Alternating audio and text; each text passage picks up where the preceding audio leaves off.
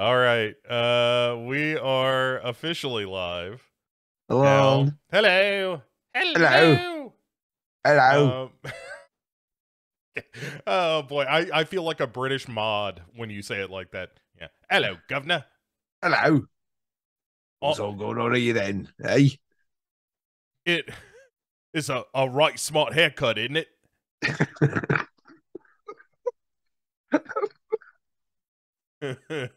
yeah, so welcome everyone.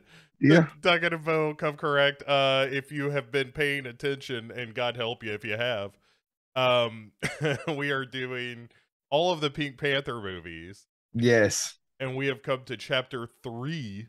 Yeah, only the third movie and And wow, Bo. Wow. Oh, it just sucked the life right out of you. Um, yeah.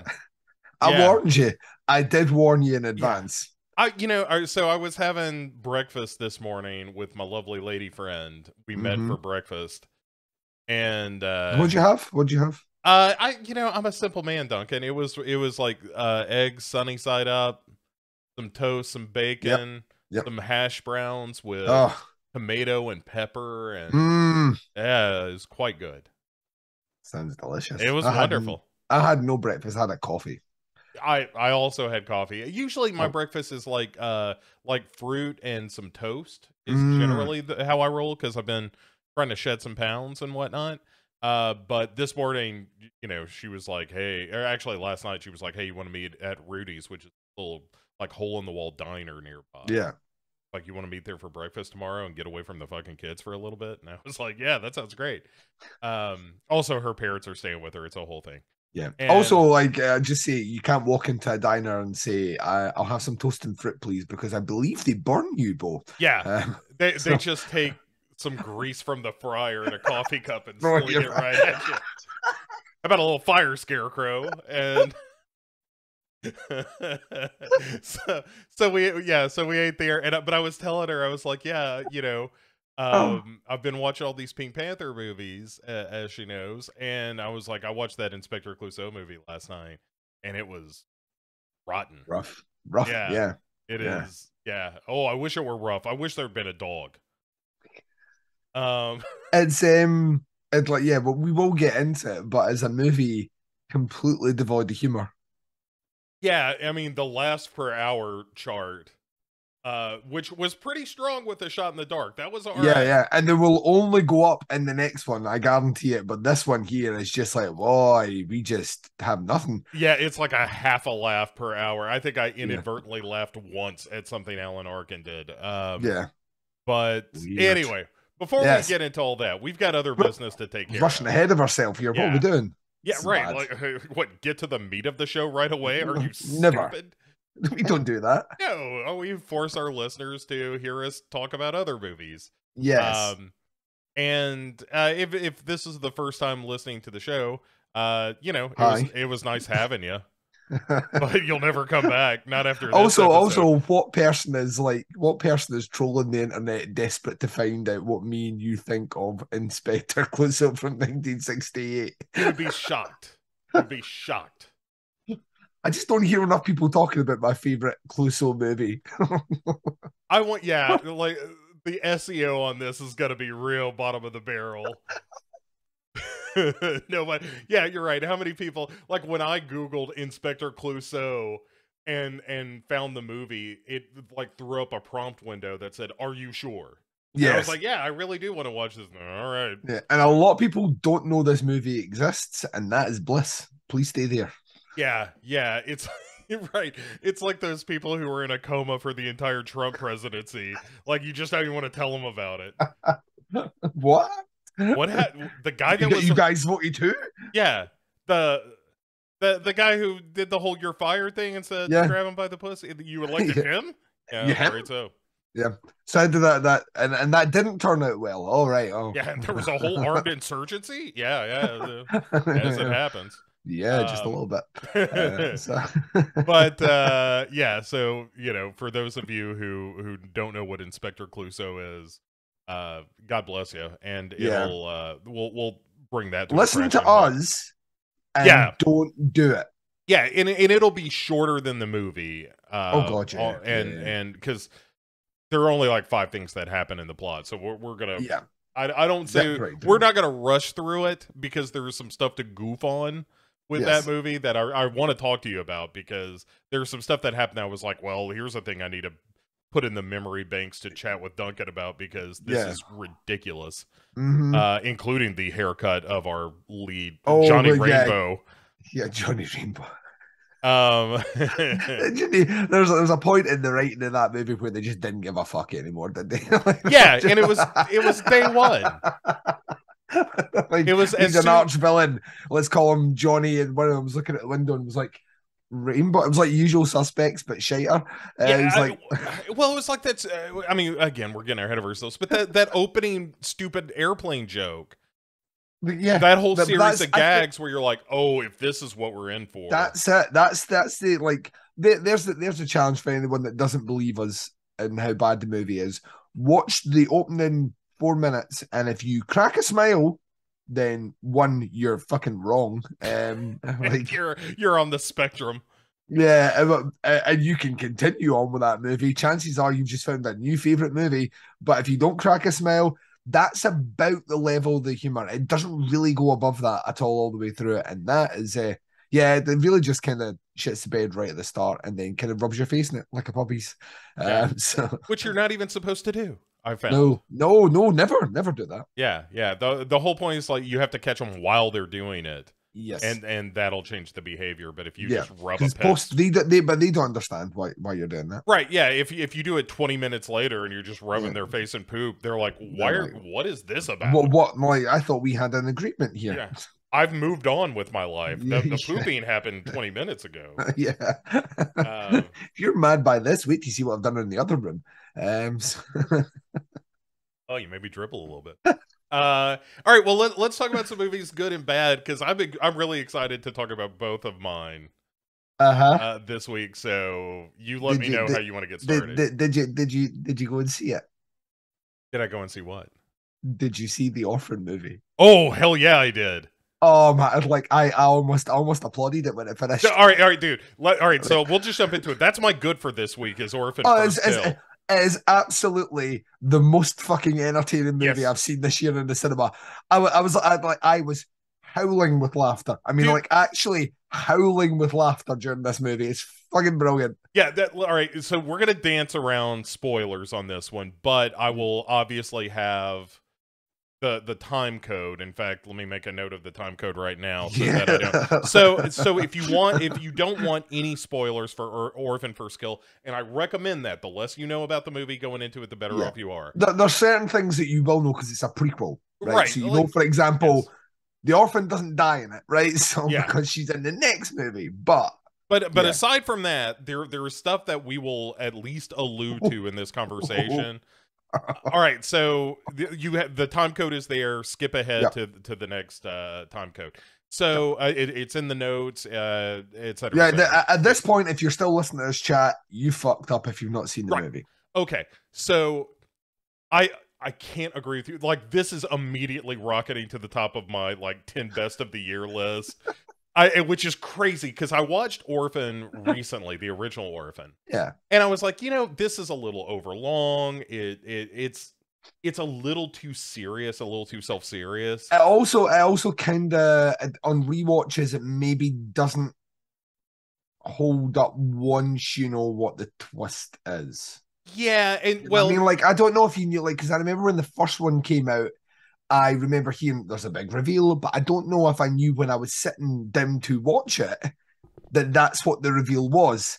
I mean, you could kind of work it out, um, and the movie doesn't make a huge attempt to try and hide it either. But at the same time, I'd like when you revisit it, you're right. The tone of it is just it's a, a very, very, very serious movie which doesn't necessarily merit the. That was the one thing maybe Slasher did right. If, if if it did anything right, was it went so fucking camp yeah, with the with the orphan story, which makes me think someone watched Slasher and then decided to make Orphan First Kill.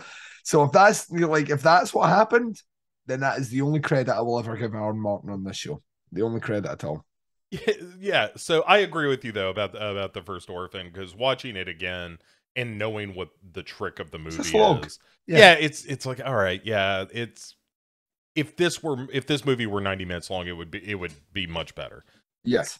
Instead of like right at two hours. Uh it's it's just and it's, you know, uh what's his name? Juame call it Sarah Yes. uh, directed it, and I mean it's just it, it's directed as though it's an honest to goodness horror movie, Yeah. and it but it's also such a schlocky idea. hmm And the thing that Orphan First Kill gets right is it understands how ridiculous the premise is, A hundred percent. and Also Uh, shelves that reveal right in the fucking start. absolutely like you know from jump it, it, it presumes you have seen Orphan. Yeah, So and as a result, it doesn't. yeah. Yeah. it doesn't like guide you halfway through the film before you get another reveal. It's like, no, no, no, no, no. We're just right here. She's here. She's in an insane asylum. She's a con artist. Oh, by the way, she looks like a kid, but she's actually a thirty-nine-year-old woman. Yeah, Let's go. And right. And so the the first what half hour of the movie feels like a they're just redoing It's a hundred percent. Even even tonally, yeah. it's a very serious kind of setting up what you will expect to be a kind of creepy, potentially home invasion slash stock kill horror movie. Yes. And and then about the half an hour mark, about, about just dribbling at the 40 minute mark, there is a, a reveal. yeah. And at that point, I was like, oh, oh, oh, that's right. I was like, oh, please, please, please, please, just keep doing this. And then the movie's like, oh, you like that? Well, you're gonna fucking love this. Yeah. And it got it, like it, it was almost like, like it was like imagine you're playing Jenga, but what you're removing it is ridiculous subplots and stacking it on top, and somehow your Jenga tower manages to stay erect, Bo. It's Yeah. like it's like how much can we put on here before it's too much? And I was like, keep going, keep going, keep going. You know, it's yeah, you're I mean you're totally right. It the thing that's beautiful about Orphan First Kill and the way I, I I was talking to somebody in the Discord group about this, and the comparison I made, I was like, it's like somebody saw Orphan and then sold the rights to the Lifetime Movie Network, and it got pushed through that filter of Yeah. like, how can we make this just outrageous and crazy? Yeah. and and that turn in the movie when you realize like oh it's not going to be a retread of orphan it's not just going to be another slasher movie Yeah. i mean it kind of is but but not really uh and and you realize like oh the fact that she is the orphan is Yes. only part of this puzzle Yeah. it it is the smartest thing you could do with this story Yeah. It is done like julia stiles is having so much fun in this She is like she is back. I Like I, I loved her. Like, see when she was like around the first time and everyone was kind of clamoring over her and she did like 10 things I hate about you and stuff like that. And I thought she was great then. And then she had a small, like, kind of blip back to being kind of somewhat interesting as an actress in Dexter. She plays a great role in, in, in Dexter TV show. And then she's kind of dossed about a little bit. And she's a great actress. And you mm-hmm. can tell it here because she knows exactly the level of hamming up she needs to do. Yeah. And she fucking nails it. Yeah, and I mean that's the thing. This movie is camp Yeah. Oh in, god, in so all camp. the right ways. Oh, so it is camp. so. But my biggest complaint with the whole movie is that the the fire CGI at the end is pretty dodgy. Yeah. But that's kind of it. And like, yeah. it's hard to it's hard to praise it as like this is a legitimate serious horror movie because it's Eh, not. It's not and like like I got I've got to stress here, right? I've got to stress. It it makes a couple of like it, it makes a couple of leaps Mhm. which defy all sense and all logic. Sure, sure. Narratively, specifically narratively. Yeah. Um and it kinda because of its runtime as well, which is a perfect runtime, yeah, it's it like 95 minutes. Yeah. Yeah, it's in and out. Um, it takes so long setting up that first 40 minutes that the back half is very rushed, but then the back half is the bit that really is kind of shaky, narratively speaking. So we have to kind of it's like a it's like a bridge that you're not quite sure if it can hold your weight. You Yeah. sprint over that. You don't you don't like you don't like slowly saunter over, you fucking run over it. Right. And the movie understands that as well. So I could never in any good conscience say it's a good movie because like there's so many things where I'm like that. If you think about it for like two minutes, it kind of falls apart. But in terms of right, this is what this movie is. We don't want to do that movie again. Quite a bit of time has moved on. and we're going to do a prequel about it, then let's let's just let's just entertain the audience because that the serious movie, quote unquote serious movie, is definitely coming. And it's all you know, it's so different in a lot of respects that it becomes its own thing. It's the same. I was I, we were talking about this outside because Baz went to see it at the cinema. Baz fucking hated it. Oh, that's Absolutely. nuts. He was like at one point he, he actually went fuck you in middle fight like two middle fingers at the screen um at a particular line maybe with like I held it I could like about five minutes I couldn't stop laughing when Julius tells us like that I'm gonna go and fuck my husband dude it is you know since you've been back he's he's really come alive in bed. So I have to thank you for like that whole sequence was oh, so good, good. It, oh, because man. it's just trash. like it's shock and trash, but in the best possible way. A hundred percent. But like the way this movie kind of reminded me of is like that Stranger sequel. Mm-hmm. Right, so like, Strangers, a very serious movie. Very, well, I don't really like it, but it's a very serious movie. It's you know, it's well regarded. It's you know like Orphan is still a well regarded movie. Um, and you know it's all those things. And now you're going to do another one. Are you just going to make that movie again, or are you just going to make it the most exaggerated version that you could? And that's what they do in the second one. It becomes a big neon splashed, ultra pulpy slasher movie, which is not the tone of the first movie. And that's basically what they did here. that we've got that first one. If we're going to do another one, let's just go for entertainment. And by God, did they nail it? Like I, I honestly had a fucking ball with it. I, I was smiling from ear to ear. So much so, like I come out cinema and I was like that. You know, I'm gonna buy that movie. Uh, yeah, yeah, absolutely. And you know, I was telling Maya about. It. I was like, I know this isn't really your kind of film, mm. but I would love to watch this with you sometime because yeah. it's just so much fun. You know, it's it like once you again, once you get to the point where the movie becomes something other than a retread yeah. of the original, yeah. the whole back end of it is just it, it just terrific. I mean, and yeah. and and I like the fact that the front 30 is what it is so that when you make that tonal shift, it's like, "Oh, thank you. This is just uh, like I thought it was going to be a cheap retread of the original, yeah. even up until the the the moment that things become something else entirely. Yeah. And once that happens, I I couldn't have been more on board. I was like, oh, we're doing this. Okay, great. And and like you said, it just it keeps kind of twisting that knife where strangely yeah. the orphan is kind of the hero of the movie in a lot that's of ways. the that's the thing that's so like audacious about it yeah. because once again if you've seen like sequels can try this sometimes where like we're, we're gonna carry on with this think it's not as black and gray with slasher killers um, you end up rooting for the slasher killer, but they never like in a franchise, but they never really become likable characters. Like Jason is never a likable character, yeah. But you want to see him gut some teenagers. You know, it's, that's kind of the level that you're in.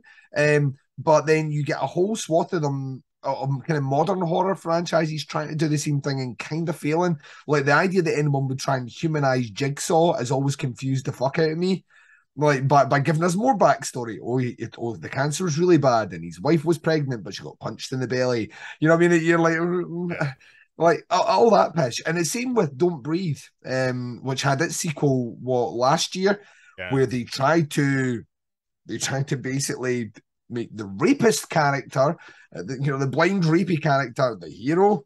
Question mark.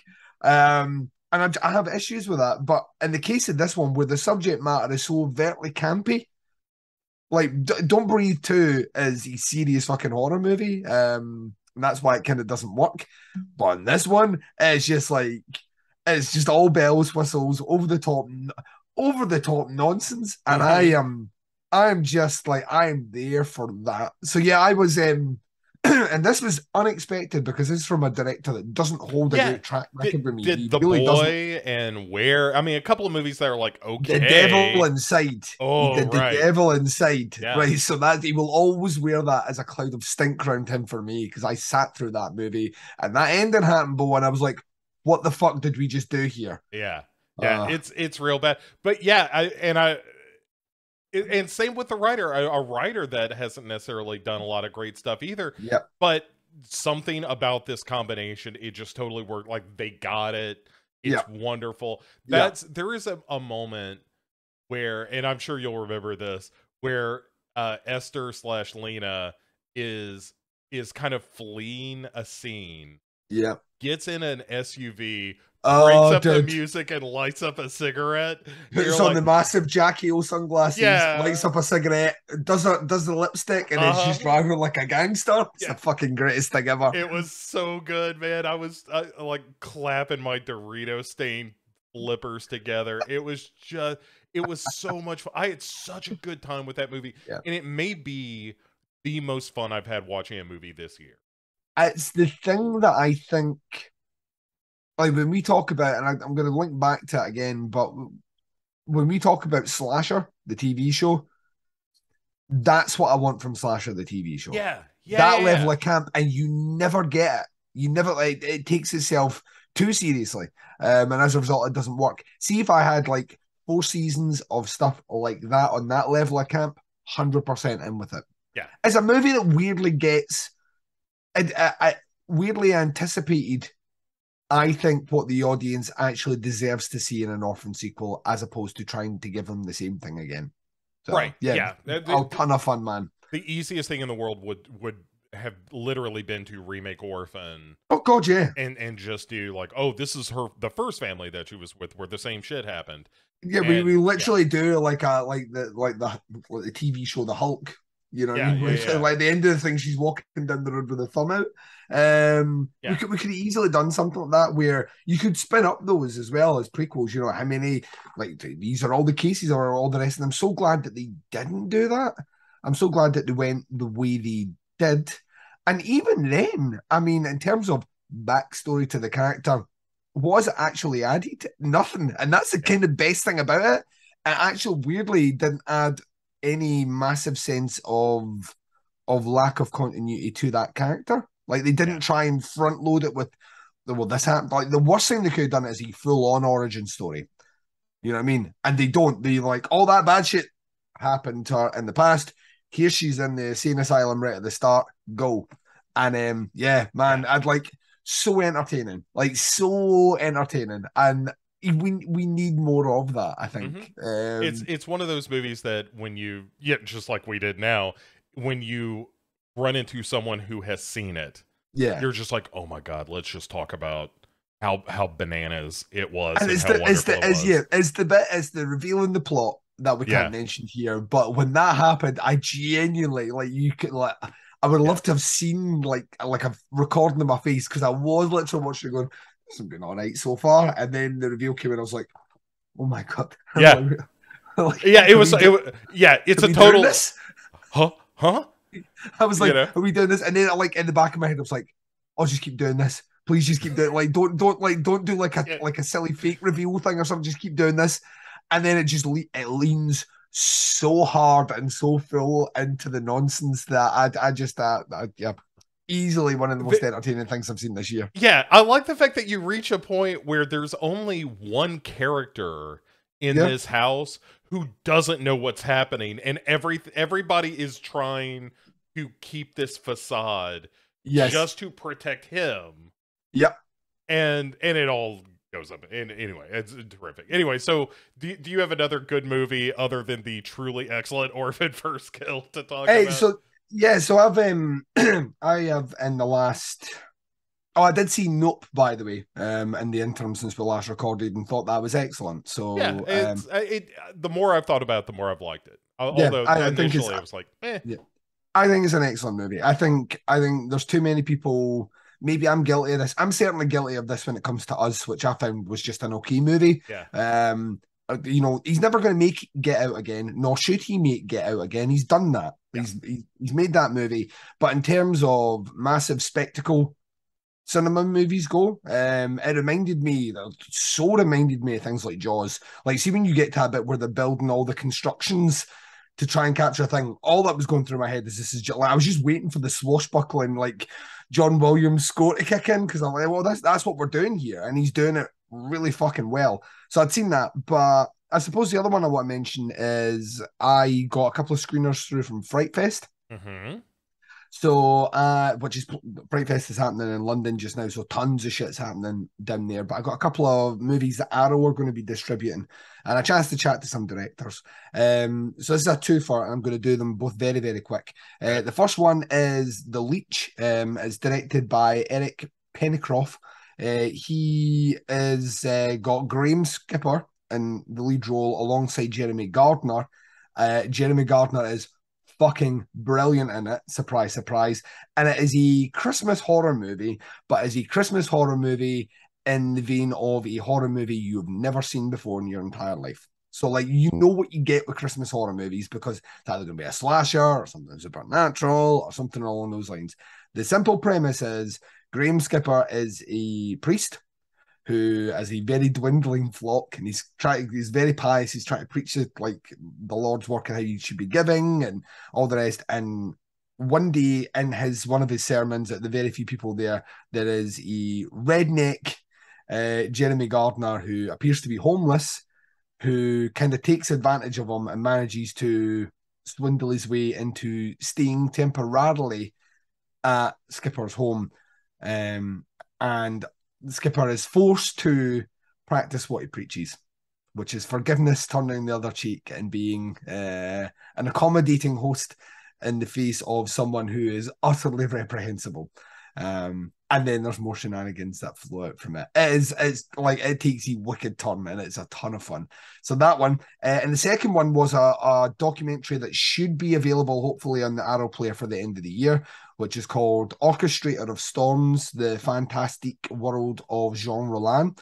So this is like a two-hour doc on the works of infamous French um, Euro cult cinema filmmaker Jean Rollin and it follows his life. Um, and it's fucking excellent because I know I I'd like I know a handful of Jean Rollin movies, and they're all like even if I don't, they're kind of they're like really really arty Jess Franco movies. Yeah, it's like, kind of soft core French or lots of Yeah. soft lighting and yeah, yeah, Technicolor and it's yes, yeah, super like, interesting. yeah, Yeah, um, but like I obviously I don't deep dive know his movies, and he made a lot of fucking movies, and this follows basically his life from um, you know, being a, a kid whose mother was like not a prostitute, but she she wasn't far off it, and she slept with basically all these bohemian artists um, who were kind of in and out of Rollin's life as he was a kid, um, up to when he decided he wanted to be a filmmaker.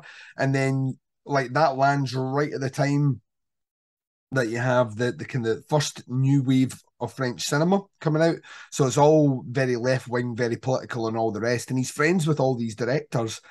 And he could easily just toe the line by being anti establishment and making these movies, which are immensely popular and he decides to be anti-establishment by making like erotic horror movies. And you you like basically you follow his life through the movies he was doing when he is maybe at his peak which was never he was never a famous filmmaker. Um and you kind of follow him through to like essentially his tragedy at the end so it's it's fucking brilliant the research they did in it was nuts um and it's brilliant. But there's a there's a great bit in the middle, and I was talking to the directors about this, where they talk about um like basically pornography was banned in France for like about almost a decade.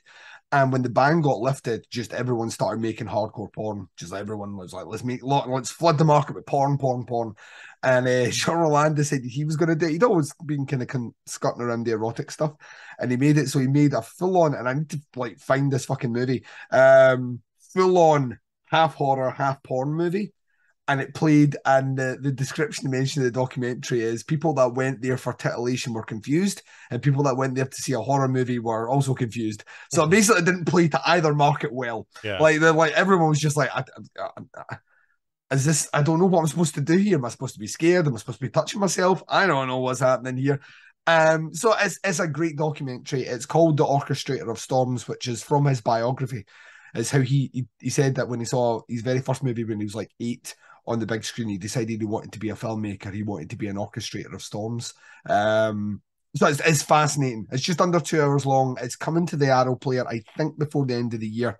The Leech is definitely coming before the end of the year. It's coming out in November on the Arrow player, and everyone needs to watch that. It's a fucking riot. So that's my that's my two for on the goods. So yeah, and just another uh, uh, sort of adding to the chorus of how good I think that Arrow streaming service has gotten.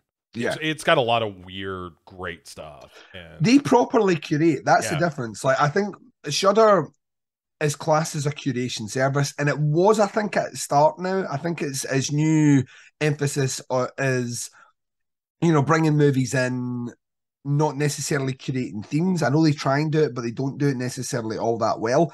Um, and you know, getting all those exclusives, which they do, they get a ton of fucking great exclusives, um, of which I've seen a fair few now uh, in the last month and a bit, and some of them have been really good, and some of them have been shit. But you kind of take your chances with that.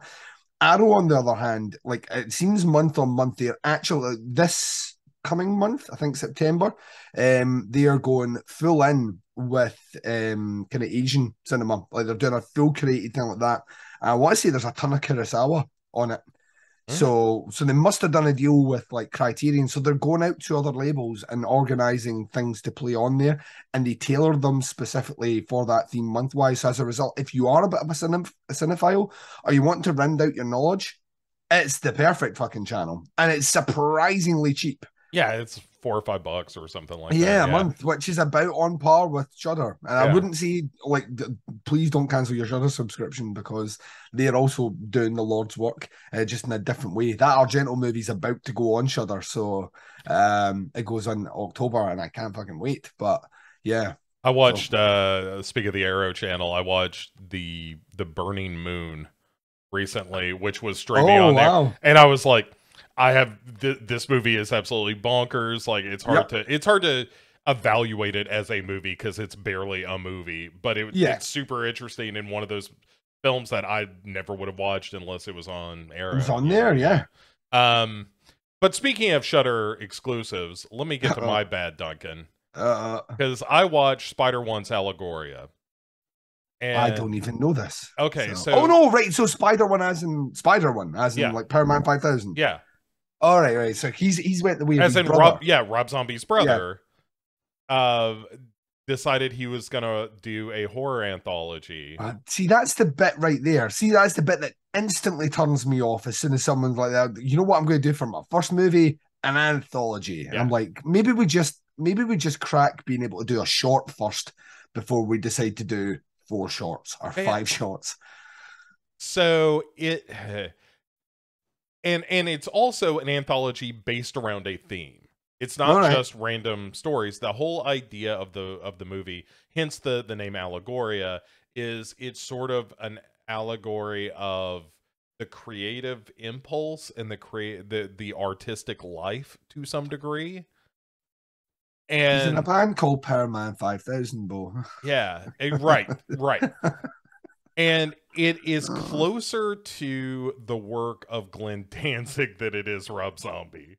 Oh shit! It's- now, you're selling it to me. You should not No, be no, no. selling this. to But me. it's not it's not nearly as like campy fun as that. It's just wildly inept. oh dear. And it's terrible. It and the way I've described it to people is it's like a dumb person's idea of what a smart movie would sound like. All right. where it's a lot of people like just uh, sort of you know expositing about the artistic impulse and there's one of the segments is this guy that is an artist like a a, a you know canvas a paint on canvas artist and uh, is on the phone with his agent about how he doesn't want to do corporate graphic design because he's an artist man Uh, fuck this. and you may be surprised to learn, Duncan, that the horrible thing that he's painting kind of comes to life. Um, it's that kind of stuff where it's the most obvious stuff in the world. Yeah. And yeah. oh, let me here, uh, let me give you the opening bit, and you tell me how you think it might end. So it is a drama teacher or drama Yep. Saying that everybody has a has a beast inside them and he wants to see everyone's inner monster, so he pulls a woman on stage and berates and abuses her, telling her she cannot get she cannot reach that place inside her where he can see, you know, the true beast inside. Can you guess how that might end? D- does she end up having a beast inside, Bo? It yeah, Duncan, it's almost is like she like a it. werewolf or is she like a Eh, vampire? kind or of is a she like demon thing. yeah, yeah, yeah. and- And does she does she reveal herself to him? Oh sure, yeah. oh well, yeah. he maybe shouldn't have wished to see that then, You Bo. probably shouldn't have. And it's just filled with that kind of stuff where you're like, I can't believe that anyone thought like they were doing anything interesting or original. And Yeah. everybody, when they start talking about art in the movie, comes across as the it, it's again, it, it feels like a high school uh student wrote this. But it's Rob Zombie's brother, so they will Right. make money on that. You know what I mean? That's that's the, Yeah. that's that you don't make money off the content, you make The- money off the the name association. So Right. If Spider One had not been the person making this movie, it never would have been made. Or Yeah. even if it had been made, it certainly would not have been a Shudder exclusive. But no. I'm sure that they thought, and uh, look, I was a victim of it. Like, hey, we can get eyes on this thing if Yeah. if we say, hey, Spider One directed this horror anthology all about artists. Yeah. And, and then I watched it, and by the time it was done, I hated myself for having made that decision to watch it. and I hated myself for finishing it. That's that's your that's your anthology story, Bo. Uh, you're aware of that. if you were in it, if you were in the movie, your your anthology story would be so desperately wanting to see the movie that made you upset. So Right, right. Like it just every time I turned on the TV, it would just be playing Allegoria. that would be the hell that I created for myself. It, dude, it it's so bad. And you know, I really like a lot of the stuff that Shudder's been doing. I thought Glorious was all right. Glorious is a ton of fu- like Glorious hangs together a hundred times better than I thought it was gonna. It's it's fine. Um, um Such a naysayer, you I know. l- uh, look, I I I liked it, but then I like I saw it before I read everybody like losing their mind about it. Oh, not. Yeah, A- yeah, and then uh, I was like, I don't see like it's a good two hander in terms of Yeah, just being I- a I- a yeah. very simple one location kind of play. Yeah, I, I think it's fine. a in, interesting take on a kind of a Lovecraftian story in a way which I found surprise. Like I, I didn't like um, the, the the previous McKendry movie. I thought the one she did was all the creatures are stirring. yeah, yeah. Uh, yeah. the Christmas movie, I found that one painfully beige. And at least this one, I kind of got an idea of what her personality's like. Um, having listened to her obviously do a podcast for years, this is the one that sounded like sounded and felt more like her. And then the the the the, the most genius is up there as one of the most genius bits of casting this year is getting J.K.'s Oscar-winning J.K. Simmons to be a glory hole Lovecraftian demon. Um, I kind of thought Yeah. that was kind of like a it was a chef's kiss moment. I wish the conversations between them had been a little more interesting and a little more esoteric. Well, when you see like when you see well the the reveal is ultimately why you don't get that. Yeah. But yeah. Sure, But, but yeah, I'm, I'm yeah. with you on that. I'm you on that one. Yeah, it's not like making my end of year list, Right. any Yeah, the yeah, yeah. imagination. But I like like I say, like when I read the synopsis of that originally, I was like, that oh, that sounds like a movie I don't want to see. so um, Yeah, I, I thought it. Yeah, and again, I don't want to badmouth it or anything. I, I thought it was good. I, I just didn't. I didn't lose my shit over it. Um, but uh, what? So, what is your bad movie? literally just finished it just before we started. Um, so I'm going to be doing a reviewing of it tonight. So if anyone is interested in my fuller thoughts on this, then you can check out podcast on the stairs. But I've just finished watching this number 72 in the 88 films Italian collection series. Uh, the clip. Hitcher, yeah, Hitcher in the. Dark. Um, this is a, a movie I'd never heard of before. So this is later day Umberto Lenzi. It's 1989. Um, and it is fucking terrible. Um, so it's about uh like a very rich, spoiled kid who's driving around in a kind of motorized home, um, a Winnebago, and he is uh he is picking up women and murdering them. Right? I know, I know, but he is uh he's obsessed with his mother that left him when he was a kid, when he was 10. So he is kidnapping girls who roughly resemble his mother, trying to then turn them into his mother so he can fuck them before killing them. Very Freudian. Uh, yeah, hundred percent Freudian. It's about as like, although I don't know if Umberto Lenzi knew that when he was making it. Um, I think right. I think I think he he thought it was Fraudian because uh, I get the feeling that there was money put through this that was funneled somewhere like the mafia or some shit. right. London exercise. The dialogue is fucking awful. Like this is a movie shot in English as well, so this is a fucking awful dialogue. Just really, just absolutely horrific. Um, it is plagued with overacting. Um, like the clip that I sent you, which is basically the the boyfriend of the girl. It's worth saying as well, the boyfriend that's trying to get the girl back uh, is cheating on her, which is why she leaves at the beginning of the movie. But then all of a sudden he becomes the, the kind of knight in shining armor to like try and track down this this motorized home. Um, and he, he he just like his way of investigating is he will just literally drive to places to find like a motorhome and then break into them to see if she's in there, which he he duly does um, on on a, a black man.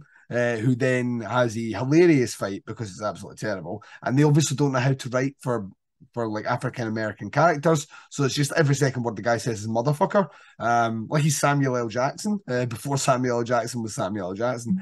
Um, and yeah, it's terrible. The ending is absolutely awful as well, and never really.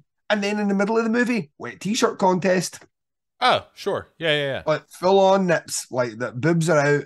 Um, like I like like, for, I like, I like that. Like it, it's sort of the uh, uh, crap, the bloodshed going to the rodeo, but instead it, it's going to a wet t-shirt Well, contest. he's, try- he's trying he's trying to find his girlfriend. So the way he does it in the middle of it is he goes to another beach. He assumes that the guy's picking her up at beach resorts, like picking up more women. So he he's going to all these different like like campsites and all the rest uh, to try and find this this like motorized home. So he arrives at one and then spends an awful long time at a wet t-shirt contest, uh, along with the audience and the viewers. Um, so yeah, it's as he as he. But once again, like I don't even know if this is one of these ones. Like Umberto Lenzi directs the shit out of this, as he does with everything. He's got the classic like like camera zoom ups and like all the stuff that you want. And technically, it's a very well made movie. It's just the story, the acting, and everything else is fucking rotten. Um, so yeah, Hitcher in the Dark, uh, not very good. Um, please don't try and watch it unless you are like intentionally wanting to see a movie which, like, I was gonna say breaks all the rules. Um, makes you scratch your head as to like how anyone involved with the project. And the thing is, like, the actual central character is the killer plays that part really well. Like all the way through it, I'm like, right, you are just like a a nervous, like weird, like rapey dude. like I don't know if that's who you are in real life, but you're playing that part very well. yeah. Um, so yeah, not not a good movie at all. So I, that's sadly, uh, I think it's the first one in a while that I've watched, which was just absolutely kind of terrible. The one that was before that though, Bo, uh, was a movie starring Telly Savalas and uh, Chuck Bronson, What was that? Violent City. Huh. I'd never seen never heard of it before. That's an Italian finance movie. Chuck Bronson is an assassin, it's a hitman, uh, who gets set up by this like international group of criminals um, who he's working for, right? But he gets set up by them because he won't go on the payroll properly. He's still like an independent contractor. Mhm. Um, so he goes away, does some time in prison, comes out, joins the organization, only to find out that he's been played all along. Uh, and Te- Terry Savalas is the he's the like kingpin guy, and it is all shades of what the fuck are we doing here? like it's just like a it's such a strange. It requires a few scenes of uh, Bronson to emote. Oh, Um, that's you don't want to rely on that. he can do it. Yeah. And he's like he's, he's not quite trying to squeeze a tear out, but he's not moving any muscle in his face at all. Sure. Man, all right, speaking of Italian movies, though, this is Yep. uh, you, neither on my good or bad, but just since we're talking about kind of Lenzi and Italian cinema, Ooh, yeah. um, you know, I am not necessarily the most fluent in uh in giallo films. yes. But uh, I saw one recently I really loved, Oh, which was Sergio Martino's uh, The Strange. Uh, was it the? hold on, let me get the the strange Vice of Mrs. Ward. Mrs. Ward. Yeah. Yeah. it's a fucking great movie. It's terrific. I had so much Yeah. fun with that. It's so like- Martino, like, Martino did, I think he did five Giallos. Um, he maybe did a sixth one, but the sixth one was done well into the eighties, so it doesn't technically count. It's more slashery than it is like like a Giallo. But he did like five Giallos in the in the period of about five years, four years, maybe even less than that actually. Um, and all of them are fucking great. Like all of them are legitimately great. They're not like top tier Giallo. They're not like Bird with the Crystal Plumage or anything Mhm. like that. But Martino is a ridiculously good director, and they're all different feeling. Like you, uh, you will at least you will everyone's seen Torso. yeah, yeah, Um, the Well, I- Torso I, think might have been his last one. yeah. So that's the one where he's like he's like kind of like I'm done with this, and that's why it's kind of half Giallo, half slasher.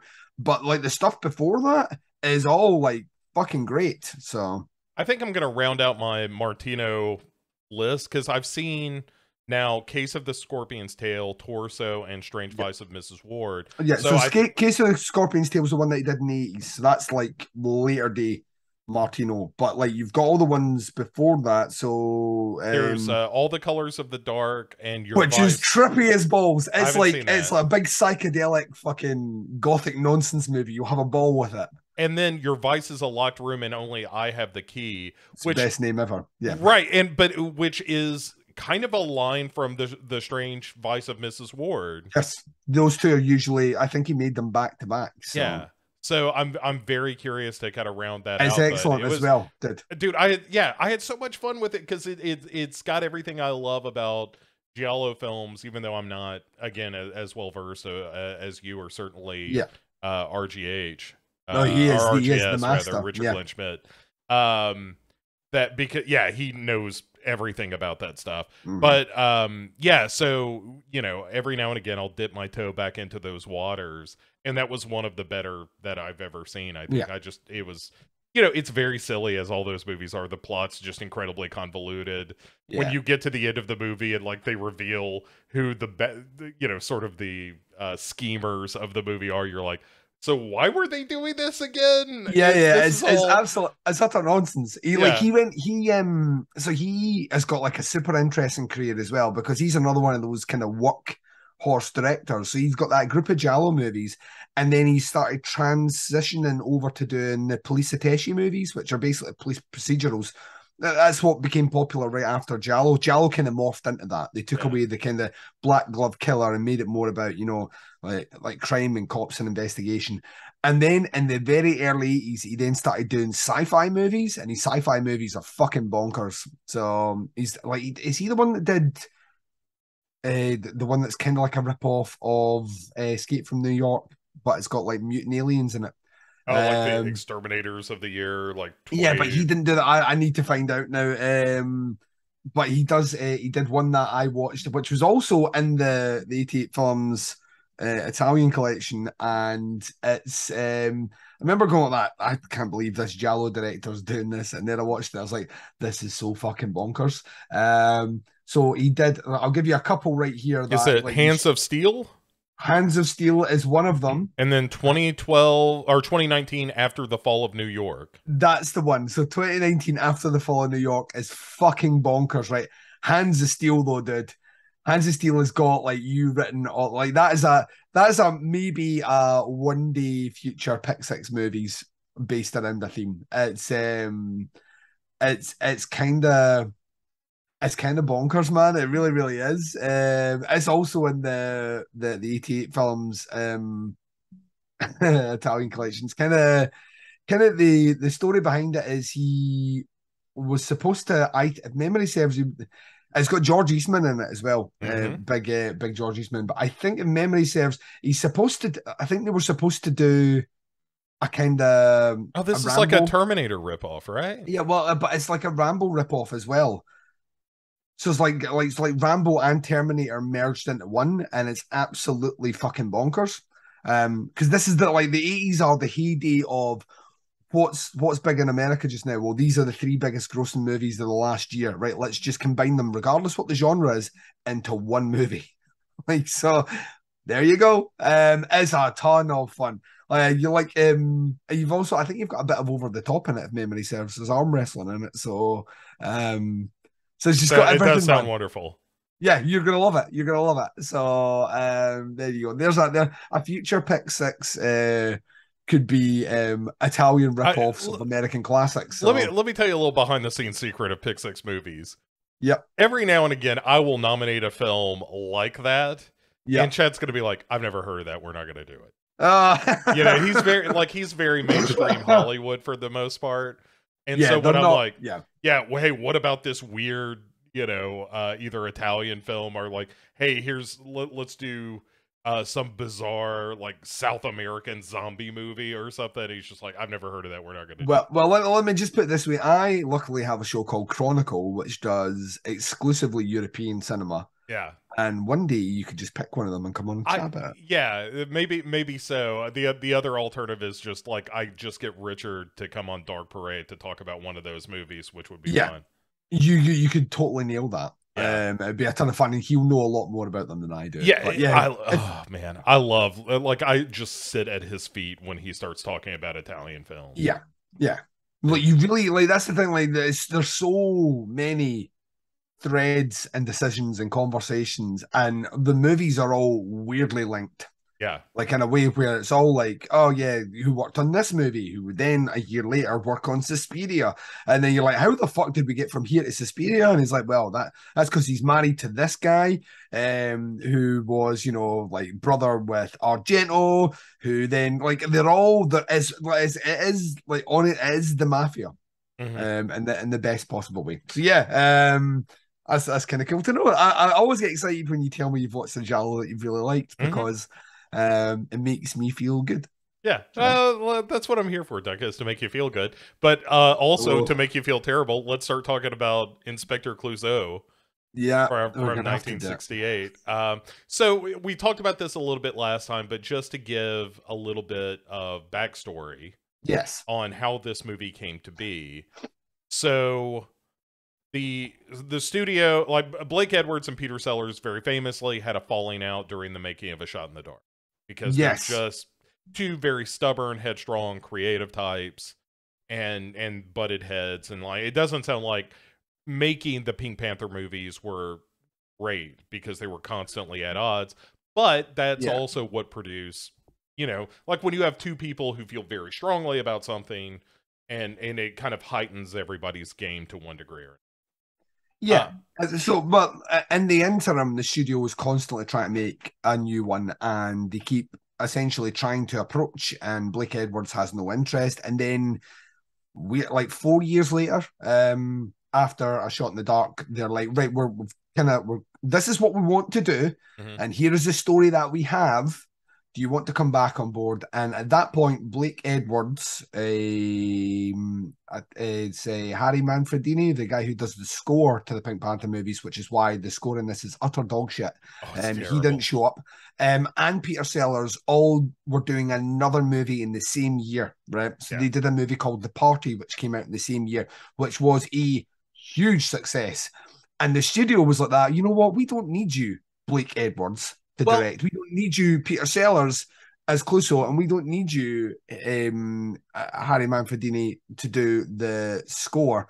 We can do it ourselves. Like we, like we, we can put a new director in there. We Mhm. can put a new Clouseau in there, and very much like James Bond, we can just change these characters, and people will just roll with it. right. What matters and- is the character, not the actor. Right. A hundred percent. And what I think they found it very quickly after this movie colossally fucking bombed is no, you can't. I think with other genres, maybe you can, but not in comedy. Uh, comedy, I think, more than anything else, especially when you have a character. And it's worth saying, Alan Arkin is not bad in this movie. He's He he's certainly trying. Yeah. He has played the hand he is dealt as. The hand he is dealt is a incredibly unfunny um, script and an incredibly unfunny series of set pieces. Well, and he is trying his hardest.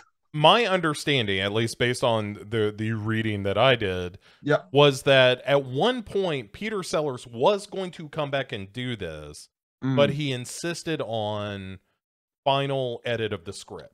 which wouldn't surprise me because he got more involved with that as the series went on. Yeah, and so, uh, but to your point though, uh, the studio was like, "We don't need you. Like, we've got Alan Arkin, who was coming off of a movie called The Russians Are Coming. The Russians Are Coming, which Mhm. was a big hit, and he Mhm. became he like was becoming a big comedic star Yeah, on the back of that. So you've got your up and coming Alan Arkin, who is a tremendously funny guy, hmm um, with you know this director Bud Yorkin and the writers. who was like very close friends with him. And but like if you if you go and you check, but uh, if you get a chance to check to see like Bud Yorkin just in general, um, is a guy who like was active as a director for like a, a quite a bit of time, but then switched over to being a producer. And then you look at his producer credits, and that's you know eh, he's he's got fucking shitloads of producer credits. Worked on both Blade Runner movies. Yeah, yeah, that's what I was gonna say. He was he was a producer of the Blade Runner film, so like no slouch. You know what I mean? Um, Both of them like came out of what I imagine was retirement to become a producer because obviously he was a- producer in the first one, but like the guy has clout. So he brought in a he's apparently very friendly with um Alan Arkin. So that's why that kind of worked. So you get a, like they at least tried to get a director and comedian pairing Yeah. where they liked each other, which is the right step to do. It's just just do it on a different movie, which is essentially what Blake Edwards did. He's like that. Like Peter Sellers is really fucking funny. I want to make another movie with him again. Um, that Clouseau stuff doesn't sound like it's going anywhere. Uh, so let's just do another comedy project. Which, by the way, the party has not aged well. Um, the party is basically the prototype of the Guru because Peter Sellers plays an Indian character in it, full on with racist accent. So it has not it has not aged well at all. So, but it was a huge smash at the time. So ultimately, you end up with the the Pink Panther franchise being once again and he's and it will happen a few times a state limbo because the studio has egg on its face because this is a colossal failure and then the two guys on the other side kind of being like well yeah we made the right choice here like we like oh, I'd like this might backfire on us because we want to do this other project when there's guaranteed money and all the rest on this side for the the Pink Panther stuff but we're going to stick to our guns here and we're going to see how this plays out and they walked away essentially quids in, as they would say in the UK. Uh, whereas on the other side, the studio is then kind of left in limbo for another prolonged period of time before we'll see Clouseau after this. So Yeah, yeah. I mean, they, right? Like, like they gambled, thinking, as you said, they could just put anybody in this role, and and Yep. it kind of killed the franchise for a while. Um, another Yeah. interesting Alan thing. Arkin, like I was going to say, I don't know if you have this quote, but Alan Arkin about this movie has said infamously that this movie humbled him um, as an actor because he, he felt fearless up until the point he did it, and then it humbled him. But what's interesting as well is almost every actor that's played the Clouseau character, um, either playing the part or turning it down, um, has sprung from this. Like Dudley Moore was supposed to play Clouseau in the 80s, I believe, late 70s, early 80s, um, after Sellers died, and cited this movie as the exact reason he didn't want to do it. Yeah.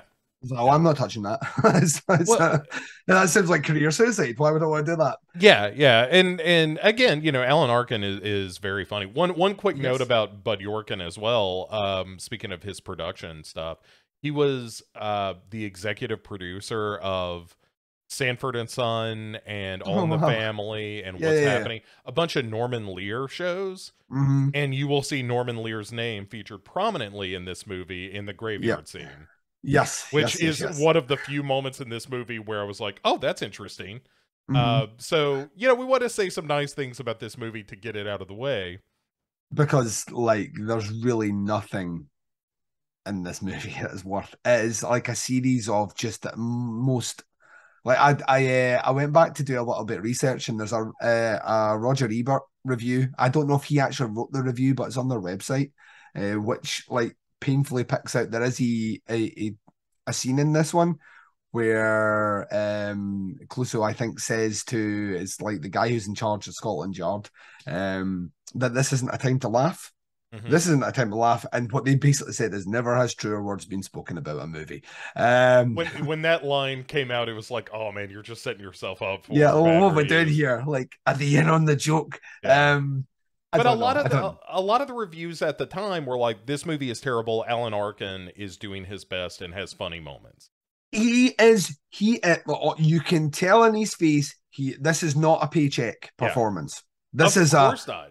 I'm going to take a swing at this because once again you've got to imagine from a studio point of view selling this to alan arkin is if this is successful Right, he's Inspector Clouseau. Like they can make a million movies. yeah we can we can do a ton of these and you're going to get paid a lot of money and it's the bond thing this is like i think people forget like even like in the uk and it's still to an extent it's more to create controversy now when they mention that bond might be a woman or idris elba that everyone gets their, their kind of knickers in a twist but Mhm. for a while there for the longest period of time the passing of the baton between one bond to the next bond was a big fucking deal it was a huge deal. Who is going to be the next Bond? Um, and I like I like in my lifetime, I distinctly remember the buzz about Timothy Dalton getting it, and the buzz about um fucking Australian dude uh, whose name's on the tip of my tongue, Goldeneye, Pierce Brosnan. Uh, when Pierce Brosnan got it as well, the same kind of this has been, uh, and then when Daniel Craig was announced, like like like I, I don't think there was a, a a dry pair of pants in the house because everyone just got super excited about that. But that was the that was the thing. So like the idea of even a studio going, we could do something like this, to me is an interesting concept, but but it requires a really funny script, and that's where this like the humor's just all wrong. Like everything, like they try and do it at weird times. There's no real. Like we joked about the the thing about the previous movie, A Shot in the Dark, is like once you understand what the gag is, when it's repeated the next time, like the paddy wagon scene, like the fact he's never got a license, when it comes in again, it's stupid, but it's funnier. Like every time that happens, it gets funnier and funnier because you can see you can see the setup of the joke, and you know what the punchline is. You're just waiting to find out what mechanism's going to trigger the punchline, Mhm. and that's the that's the bit. In this, there's a running gag here that Clouseau is a bit of a control freak, so he likes to move the furniture around or likes to move around to weirdly assert some sort of dom- dominance or keep people like all that. And none of those jokes work, like at all, at any point in the movie. And they keep doing it. In fact, in one scene, they use the same gag about 10 times in a five minute scene, and none of them are funny. Yeah. And I'm like, at what point were we still put what at what point are we still doing this in this scene? Like were people like genuinely laughing when they were filming this? Because we're gonna keep coming back to this gag and not funny. Um, and by the tenth time, guess what? Not funny. So it's that sort of stuff where I'm just like super confused at at what point anyone thought they were doing anything that was going to be hugely maybe it's that thing where you're so close to the coal face that you can't see it but i don't know man it just feels it just feels tonally off from the Yeah. start You Yeah, it, and- the opening scene the opening gag is just it's off to the side and not quite right Yeah. Uh, all right. So it start the before we get to Clouseau himself, it starts off with in in London Yeah. where there's a the head of Scot- Scotland Yard, Sir Charles Braithwaite. Yeah. Uh, as so by- not not Sir, not Sir Charles Dreyfus, Sir Charles Braithwaite, right? So like, it's different, Bo. It's different. And There- the yeah. so different. there's no Dreyfus, there's no Cato. No, It is it. we're, in all that London for no reason at all, right. except we can use a lot of British actors. I, Yeah. I don't know, but that didn't stop us doing. But I don't know. Let's take him on the road. To that'll work. Yeah, right. If we put him somewhere other than you know Paris or Italy or uh, wherever, then maybe people will forget that it's a different guy. Yeah. Um, but yeah, so the the the setup is that there has been a big train robbery. Uh, the Great Train Robbery, Great which Train is an which is actually a thing. So they're basing this on the back of the Great Train Robbery in the Yeah. UK, which I think at the time was the it was that the largest amount of money stolen. Yeah, it's a um, oh, it's a fascinating story too. Yeah, Uh, yeah. It's a uh, anyway. If, if you haven't looked into it, you can actually check out um what episode. There was a Pick Six movies where the the introduction is all about the Great Train Robbery. Oh, wow. and, and I, I can't remember what episode we did that for. Um, but at any rate, uh, if you like train stories, look that up. You should be Uh, listening to both show anyway, so you they'll all be shouting the, the episode. You're right. Yeah. listening. Some that that's the thing. You know how it goes. Like somebody will tell you, like, "Oh, it was this episode, dummy." It's like I've done hundreds of podcast yeah, like, episodes. yeah, like since that time, I've recorded a thousand hours. Yeah. Um, Uh, yes, but, but yeah. So, and but the notion is that that was a setup for bigger scores, yes. and so uh the prime minister has essentially decided to call in some help uh to yeah, there's a vote of no confidence in Sir Charles, so he is he's reached out to a crack detective from somewhere else to help, and of course, the Sûreté has sent Inspector Clouseau. yeah Once again, just reaffirming that the French hate the English. that yeah the war of the roses was only the beginning so uh and this is where we first meet alan arkin who comes uh, steps off the plane in the pouring rain and we discover surprise surprise duncan he's not wearing shoes he gets to the he gets out the plane, walks all the way down the stairs in the rain, gets to the bottom of the stairs, then looks down and discovers that his feet are wet and he's not wearing his shoes. Yeah.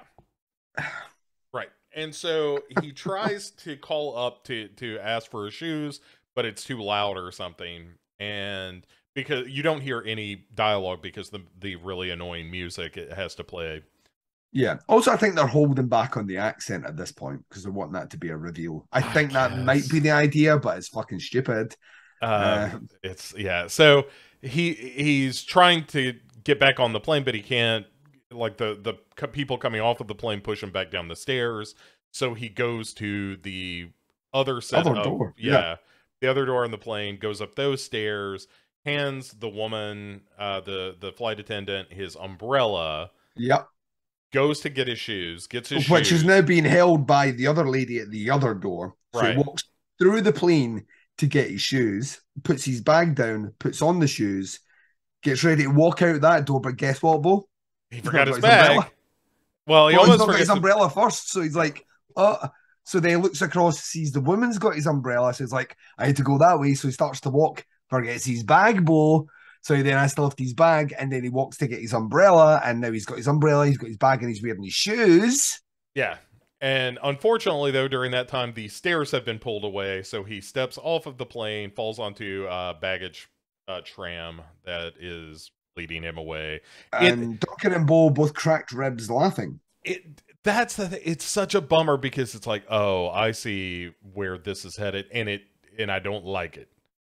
And it's also the, I mean, we've had this gag before. Like the Clouseau ends up soaking wet was how we started off a shot in the dark. Right, but it's but it's You so know much I mean? quicker. It's just him falling into the It's, he falls into it, he Yeah. walks into the room, his introduction to characters, him shaking a hand, and he is soaking wet. Right, and that is funny. Right. Like so- the joke isn't oh he got wet and he he's stupid. It's that he is he he is playing off that he hasn't Yes. committed He's playing the- it straight. right.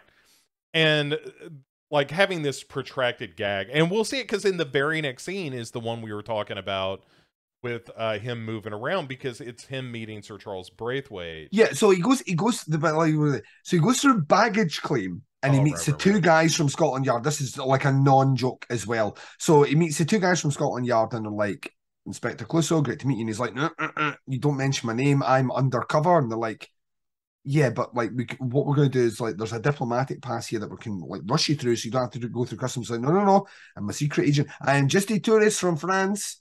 Um, so like, you have to treat me like everyone else. So he basically goes up to passport control, and as he's handing his, as he's trying to find his passport, he pulls in his pocket, and comically, a set of brass knuckles, a gun, and two grenades fall out. Right. Which why on earth would Clouseau have all of this stuff on him? But whatever. So he's arrested, Uh, and right. then in the next scene, he is meeting. but you Sir haven't Charles. seen my passport. Yeah, and this is he's, he's getting dragged away, and I'm like, oh my god, that joke's worse than the previous one. Yeah. Like, I'm, I like I don't know about you, they, uh, but I was kind of pining for the the the shoes being missing at that point. I was like, Joe maybe wasn't all that bad after all. Uh, uh, so then we go to the meeting with Charles Braithwaite, where he is telling uh, Clouseau, like, here, here's what's going on. We found these three, uh, three of the thieves that were in on this Yes. train robbery, one of whom is in prison, and the other two are on the loose. Yeah, well, one the one that's in prison though, we're going to get to this in a second as well because no one seems to be upset that this guy escapes and Clouseau's behind it. Yeah, it's, It's it's never of the mentioned. re- it's the reverse of the him constantly letting Elkie Summers go Yeah, in Shot in the Dark, which is a, a fun running gag because of just the insanity of you know. Well, of course she is innocent because it, she is she looks too guilty to have done it. You know, yeah, and, and then but the, like what you what you get here in this scene, right? Like so, what you get in this scene with Sir Charles is this is the the gag that I'm talking about. So when he, sits down opposite on his desk and there's like a picture which Clouseau moves so he can talk to him better. right, and, And then during the conversation, he moves seats to the other seat, and there's two pictures there. So he moves those two pictures apart. And at that point, I was like, all right, is this like an OCD thing or something? Um, but then in the space of it, and this scene goes on painfully long, like painfully long. Remember the other, remember the the Dreyfus scenes where they're just quick snap. You Yeah. did what? Nincompoop. You know what I mean? Like we get those quick, like we just react. All we need is a reaction, Bo. Um, but in this one, there's a lot of kind of setting the stage for like Sir Charles thinks there's someone on the inside and he shouldn't trust anyone. And Clouseau's like, well, maybe I shouldn't trust you. And he's like, well, maybe you shouldn't trust me. Um, but as they're doing this, Cluso keeps sitting in a different chair, and he always does it after Sir Charles stands up to move around to talk to him. Sorry if I hit my mic. Uh, to, to move around to talk to him. He then sit and and then he's not there anymore. And it's once again it's playing off the gag from the previous movie of him like rehearsing his speech Mhm. and then going out the room and coming in and not realizing that she's in the room with him. So it's like it's almost as if the writers have been like, "Well, that was funny. Let's extend that out." right. Yeah. Without realizing what made it funny, which is the shortness of it. Uh, well, you know what they say: uh, stretching out a joke is the soul of wit. Um, but I'll, you know, the moment this, all right, Never heard that before. Yeah, well, um, the the the movie where this gag is done better is Caddyshack, A hundred percent. and it, it's the scene where uh uh Danny goes to talk to Judge Smales in his office, and they keep looking around the lamp until Yes. Ted Knight just shoves everything off of his desk. Like that's a it, it's a very quick gag. There's not a lot of attention drawn to it until you have the punchline. And there's a great payoff. Yeah.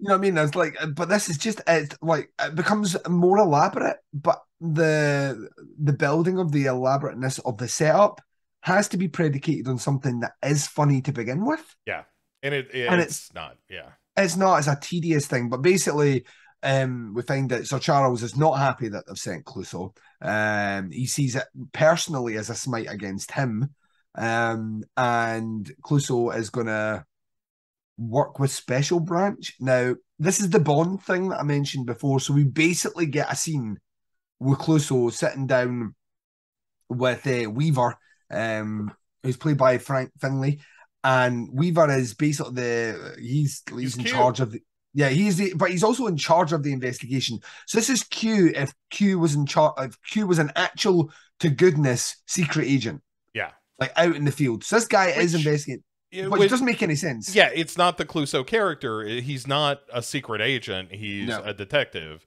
But It's- he's getting all these bond like devices. He gets a lighter, which uh, basically has a laser in it. He gets uh, a box of matches, with, where the match, matches actually create like smoke for smoke signals. it's like yeah it's like a flare a signal Yep. a, a smoke signal box of matches yeah Yep. He gets uh, a, a like a, a cigarette holder, which is actually a tape recorder device thing, which is malfunctioning even at the start. Which we know that'll play into a gag later on, Bo. oh multiple Um, gags Duncan Yes. they, they can't get enough of this gag it, it And- kind of ends the movie in a way so anyway Yeah.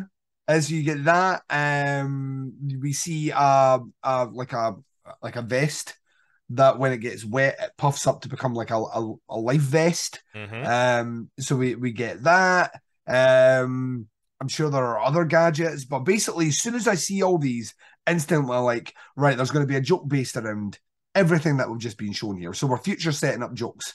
Hopefully, they'll be funny. Mm. Yeah, it, it's like this scene kind of ends with him accidentally setting off the laser and Yes. and severing goes to light his pipe. And, Right. Yeah. And he, he sets off a laser which severs the pipe, creates a giant hole around the entire room, shocks Weaver, yeah um, like inflates the suit up, and then Weaver, for some reason, like they're both standing together in a weird scene, uh, where Weaver ultimately Yeah. invites him to dinner because he thinks he should meet his wife. It makes sense later on when we find out. By the way, the re- the reveal of the Weaver character is the worst reveal ever because, like, instantly I was like, right, you probably are in on this. You're probably the leak. Um, but he invites him home to meet his wife. Now, don't know if you know what country I'm from, Bo, but there's some stereotypes used in an upcoming scene that deeply offended me. Uh, like, I was fucking yeah swearing like a bastard at the screen when this stuff was coming up. Oh man, all right so it was written by an Englishman. I could fucking tell. I could tell. so it, so he goes to the prison first right is is that's the next scene is him going to interview Yes, Steele so- Yeah, so he goes to interview Steele, who is a hairdresser at the prison. right question mark well like one of the most dangerous bank robbers is just given access to scissors and open razor blades and all the rest because that's what you'd want to do. Um and he's giving a haircut to this guy who we will later find on uh, has like the worst criminal name ever. But he's giving this haircut to this guy. And we get the, the he's the warden's son. He's the warden's son, but Yeah. we're getting this kind of thing where Clouseau is like, "You take your time," and he's like, uh, "I always take my time," and he's like, "Okay then," and then Clouseau comes across to see his hair, and he's like, "What you doing? I told you to go over there." He goes like, and then I said this, and then they repeat the same conversation again. That's not funny. right i i was that was another moment of like is this supposed to be a joke because I it think does it is. it's not very good It's not funny either. Yeah. But Uh, the, the warden, the warden gets up, and basically reveals that he's Clouseau. The warden's son, sorry, reveals he's Clouseau, um, and kind of walks out the room. And as he's walk like walking out the room, Clouseau's like, "I really wish I hadn't blown my cover." And then Cluso decides to get a haircut, even though his cover's been cracked Mhm. by a hardened criminal who has access to scissors and razor blades. right but who doesn't use any of those but starts like Clu- yeah clouseau there's a, kind of a joke where he's asking him about the robbery and what he might know and and this guy does mention johnny rainbow Johnny Rainbow, which Clouseau writes on his, his notepad really quickly, as if you'd have to remember the name Johnny Rainbow. Right, Like, as I, if I better write not- this down. This common name like Joe Smith. I better write this one down here in case I forget it. And um, he hides his thing. Once again, why is he hiding his notepad? Because this guy knows he's a detective. But we're, we're not going to worry about that. He Puts a, a hot towel on his face and then pours chloroform on it, putting him asleep, and then sneaks out the prison? Question mark. like uses Never his- mentioned again. yeah uses clouseau's coat i think to kind of Yeah. disguise himself but anyway never mentioned though. Yeah. Never mentioned after this scene, like at all, even a little bit. And I'm like, well, so what we eh? this is a fucking terrible like writing. Absolutely terrible writing. yeah and so then then we go to the dinner yes. Which is So, yeah. when, when when he opens the door, we we get an introduction to the uh the female Love lead. interest, Yeah, Yeah, the love interest in this movie, who is the quote unquote au pair Yeah. of the house. played by Um, Delia Boccardo. Yeah, who is beautiful in this movie. Oh, absolutely. Yeah. And she and very mysteriously, as soon as uh, she has a moment with Clouseau, tells Yeah. him, "Oh, you know, we need to speak, and but not right now. We have to do it away from yes, uh, away from uh, everyone. yeah." And so he's like, "Oh, this is this is very good." And my Alan Arkin Clouseau. And so then um this Well, uh, Weaver. like Clouseau, like who speaks to Weaver, and he's like that. If that's your au pair, I can't wait to see your wife, you dirty dog. and here comes the joke that has to be your favorite of the movie. I fucking hated this. He's married to Mrs. Doubtfire. Um, yeah, it is a Scottish woman. in full Highland. no, Sorry, no, no, no. She's not. Like that's the I, I'm playing into stereotypes here. She's dressed like how the world thinks people in Scotland dress, right? Mhm. and how we don't. Um, it's like how like there's a whole swath. Billy Connolly does a great bit about this about all these English people that move up to the Highlands when they're older and buy like like cottages and the stately homes and and, kind of try and claim their Scottish heritage. Um, and in doing so, they all have the they all have like surnames as first names, like Macintosh. If you you know like it's all this Yeah. stuff. Oh, of you know of, of of course, Carmichael. I'll be there in a minute. You know it's all this shit. But she comes down the stairs, and it's not that she's Scottish. It's not that she is involved with the Highland Games that we're going to go to, an indoor Highland Games, which isn't a thing. They're all held outside because we're Scottish, and if you're going to do it, you will brave the weather like every fucking person else. Um, you don't do them inside, but like we're going to go to this like like feel good Scottish thing in London, which is happening, which once again would never fucking happen. Mhm. But but she comes downstairs and she's oh look at you wee laddie. oh dearie. Oh, look at you, laddie. Oh, I, I bet you just can't wait to go. And I, I was watching this going, I want to kill someone. It it is so bad. totally Mrs. Doubtfire. That is such a she great is. I says, oh, she's like, I can beep up, dance to you, drop, and make a wicked cup of cocoa, you cheeky monkey. I'm like, what are we doing? And, but she's full on, and she takes a shine Clouseau right away. Oh yeah, yeah, yeah. Uh, totally wants to get a- down with him. Yeah. Yeah, she wants to rape him. Yeah. Basically, she it's not like there's no getting around that. Oh, There's a scene dearie. there on- We're going to the the Scottish the Scottish celebration here. Come along, dearie. And so so like like they- literally drag him to this right yeah, and it's uh, like it's every like horrible stereotype that i hate seeing on the screen it's, to yeah, be honest if you go throwing if, logs and yeah it's that they, they toss the caber which if you go to highland games they do toss the caber they don't toss it like they do it in here that's like factually inaccurate but we'll we'll let them off yeah, they just kind of run with it until it falls out of their hands. yeah you're supposed yeah. you do you run with like the, the whole point without like trying to educate people out there is that in order to score points the caber needs to go over the top of itself and land down and you get points not for distance but how close it is to 12 o'clock. So you basically want it to go over and be completely perpendicular to yourself. Um and that's the that's like but they're a lot bigger than what those guys are carrying. They're basically trees right? Because in scotland that's that's that's how manly unless you can carry a giant fucking tree and throw it Yeah. uh, you're you're not a man. Oh, you can it. carry it, but can you Yeah. throw it? and then to act like once again, Scotland's all about that machismo thing. Uh-huh. Like, how do we make this more masculine? You have to wear a skirt to do it. Uh, like it's all those things. You know what I Set mean? it We're- on fire. it's like flame caber is not a joke, right? Flame caber is a real thing, and it's going to come and get us all, right? um, so play a game of flame caber, you're in trouble, Bo. Uh, Uh, but I had so- I had a flame caber, but I got some of those medicated pads, and that I got a, I got a cooling spray, yeah. um, and that took cleared it right up. Uh, but the so yeah, so it's it's all it's the like traditional Scottish sword dancing. There's a like a procession of pipers there and all the rest. And Clouseau's getting into it. He's like doing a bit of the Scottish dancing. He's drinking a little bit of the drink. He's dancing on tables. He eventually goes to like toss the caber, but like that's a like oh, oh, oh there's a bunch of shenanigans there where he's still holding on to it. The guys are trying to help him, and he's like, "Put me down, put me down." But meanwhile, there's assassins here, and one of the one of the group that are trying to get him is in here following around. So we're going to get that once again the scene from A Shot in the Dark, where there's going to be numerous amounts of failed assassination attempts on Clouseau, which is a theme in the other movies. But when you see the other movies, you'll see done a hundred times better than this.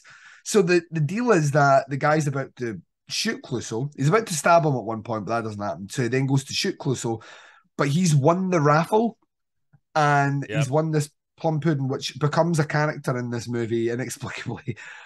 There's yeah, a lot of talk about this. obsessed with this plum pudding. Yeah, and like the the the payoff to this is fucking stupid. But anyway, he wins this plum pudding, and as he's kind of walking away to get the plum pudding, he, you know, like he's so excited to get it that when he's he drops the bar, and when he drops the bar, he's got this. That was the other the other gadget was a a gun belt. belt. Yeah, yeah, yeah.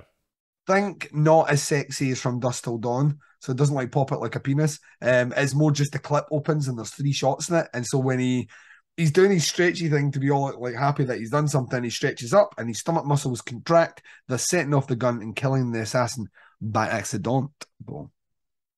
Yeah, and uh, so Accident. accident.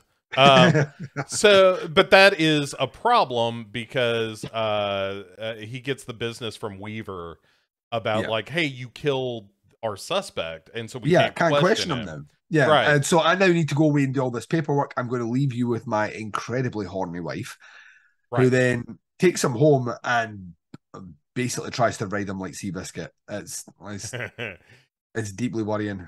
yeah, and, and so, but he's obsessed with this plum pudding, as we mentioned, yes, and and uh, I think it's Lisa, the au pair, who tells him she has you- to go. Yeah, she, right like- she she has to go because there are other assassins yes. and and he decides well they will try to come at me by what i love the most what do i love the most food it is food Yeah. it is my Yeah. plum pudding Yes. So what we get we get essentially like he has to in the in the interim he's already visited Sir Charles at his gentleman's club. I fucking hate English people. Um I don't I don't really I love you all. I love you all. I just there's a certain tier of English people, wealthy ones that I just fucking hate.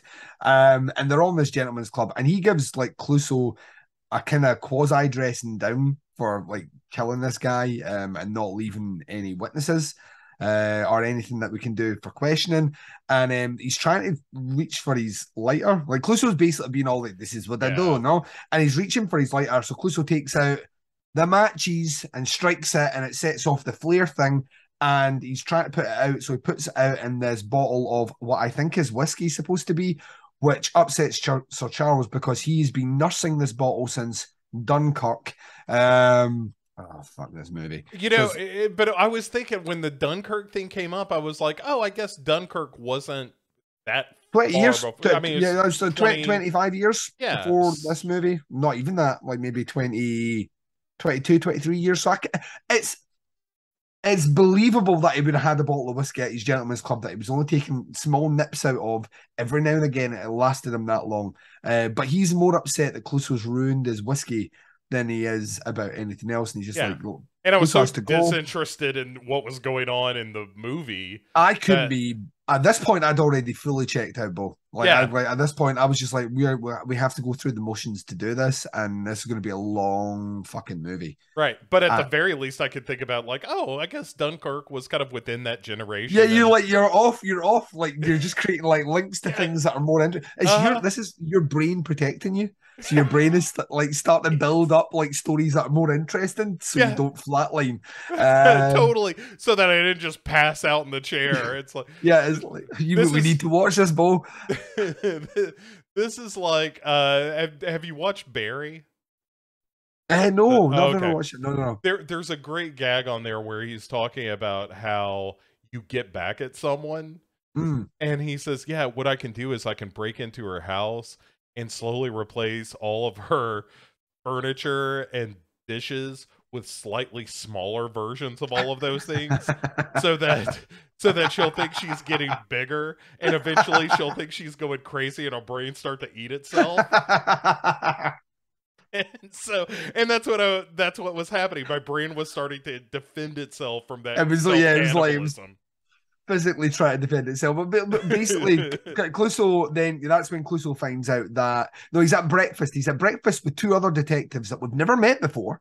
Mhm. That are, and he's let's do the facts of the case. So we're doing another. Let's do the. So he's going through it all, and then he kind of hyperventilates in a like almost like some sort of weird loop of logic where he comes back to that they will get me through the thing that I like. They'll try and come at me a different way with the thing that I love, which is the things that I eat, which is my pudding, uh, my my plum cake. So he then, no explanation of this, shows up in full military gear from the Second World War, carrying the largest metal detector I've ever seen, and a crack team of military bomb experts at the Gentlemen's Club, which has been evacuated, to rush in to find his pudding, and they're all like, "It's not in there," and then he puts it in like a bucket of water for no Mhm. reason, pulls it Uh, out, and then it- start. the- the first it's like i i hear it is ticking Yeah, And- well, he lifts it up to his ear and he's watch is beside his ear, and he's like, "Oh, it is ticking now." Yeah, yeah, Um, puts it in a bucket of water, but his hand goes into the water with the watch. So when he lifts it up, it's no longer ticking because his watches. Which once again, we don't need to. They actually explain this joke, like right after right this. we saw it i was like, there Yeah, Yeah. and I'm like, what would like it wasn't whatever humor was in that joke is now completely gone. Um, but yeah, he starts raking through this pudding, he can't find anything, uh, and they're all like, "There's nothing in there," and he eventually finds a small little red pill, which they're like, "Ah, looks like a cyanide capsule," which is once again never explained. Yeah, I mean the the explanation that they give is that it was just laying around. And so somebody must have poisoned it question mark.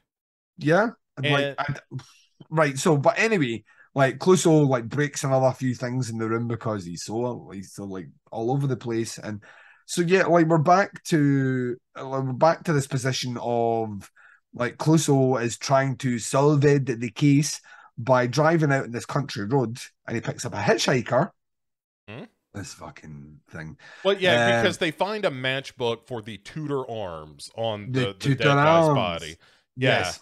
And so he's going to go investigate this, but as you said, he, he picks up a hitchhiker and who's a, a lovely lady. All and this is one of I think two jokes that worked for me in the movie, Yep. which is she has her her uh the hood up, the Mhm. boot. Um Yeah. uh, That's uh, called the bit. and uh he he's trying to fix her engine and he says oh yes it is uh this wire if it is this place it will uh, fix your car and and he like touches it to you know another this wire to another part of the car and you see a smoke and she goes oh that's great is it fixing he goes oh no it will it is completely ruined now yeah. and it's a good delivery Yeah. uh, and a, and a pretty good joke. It's a- like I, so on the last per hour, I would say there is one because there was another one joke in this, later, yeah. and there's another joke at the end that I find funny. so I laughed at that. I laughed twice. I laughed. Yeah, I did. I laughed twice in this movie, and that's one of them. And so he offers to take her back to town, and and says that she's going to Tudor Arms. And he's like, "Oh, what a coincidence! Uh, that is where I am going."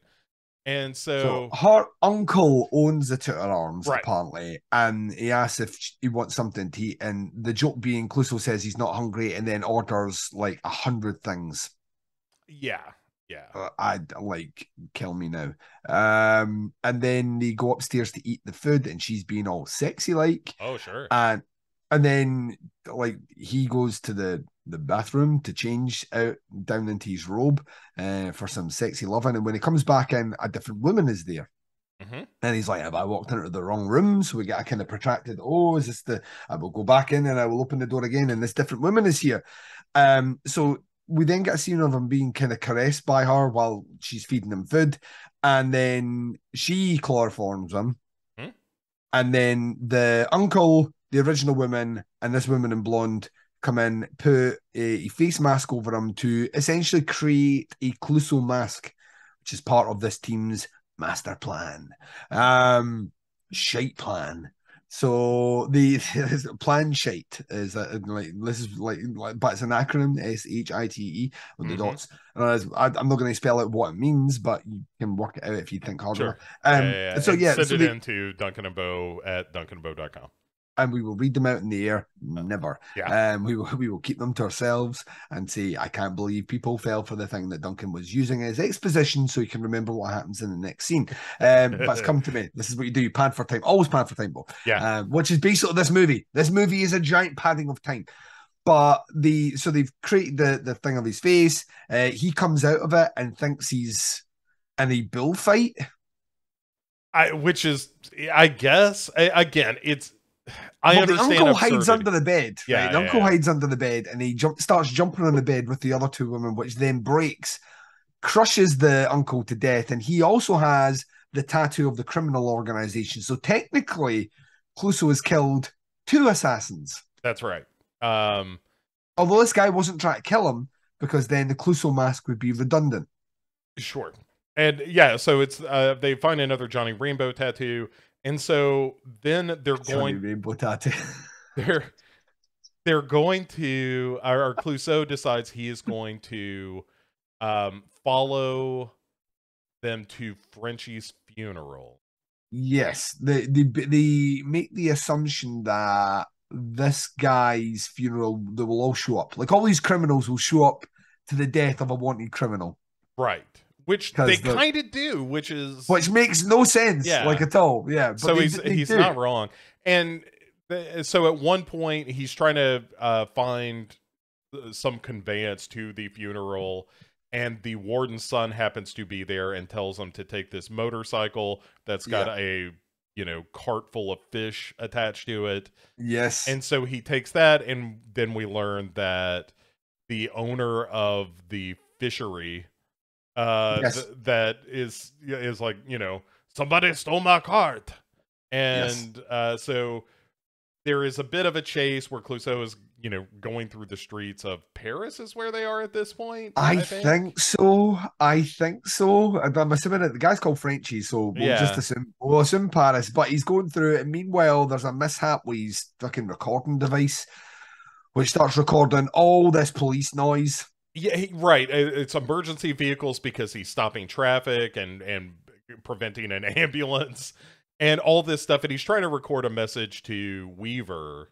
Yes. but you know, of course, screws it up because it's Clouseau. But he ends up getting um getting to the funeral Yeah. and he and he's noticed because he's not dressed in black and also he's kind of bumbling around.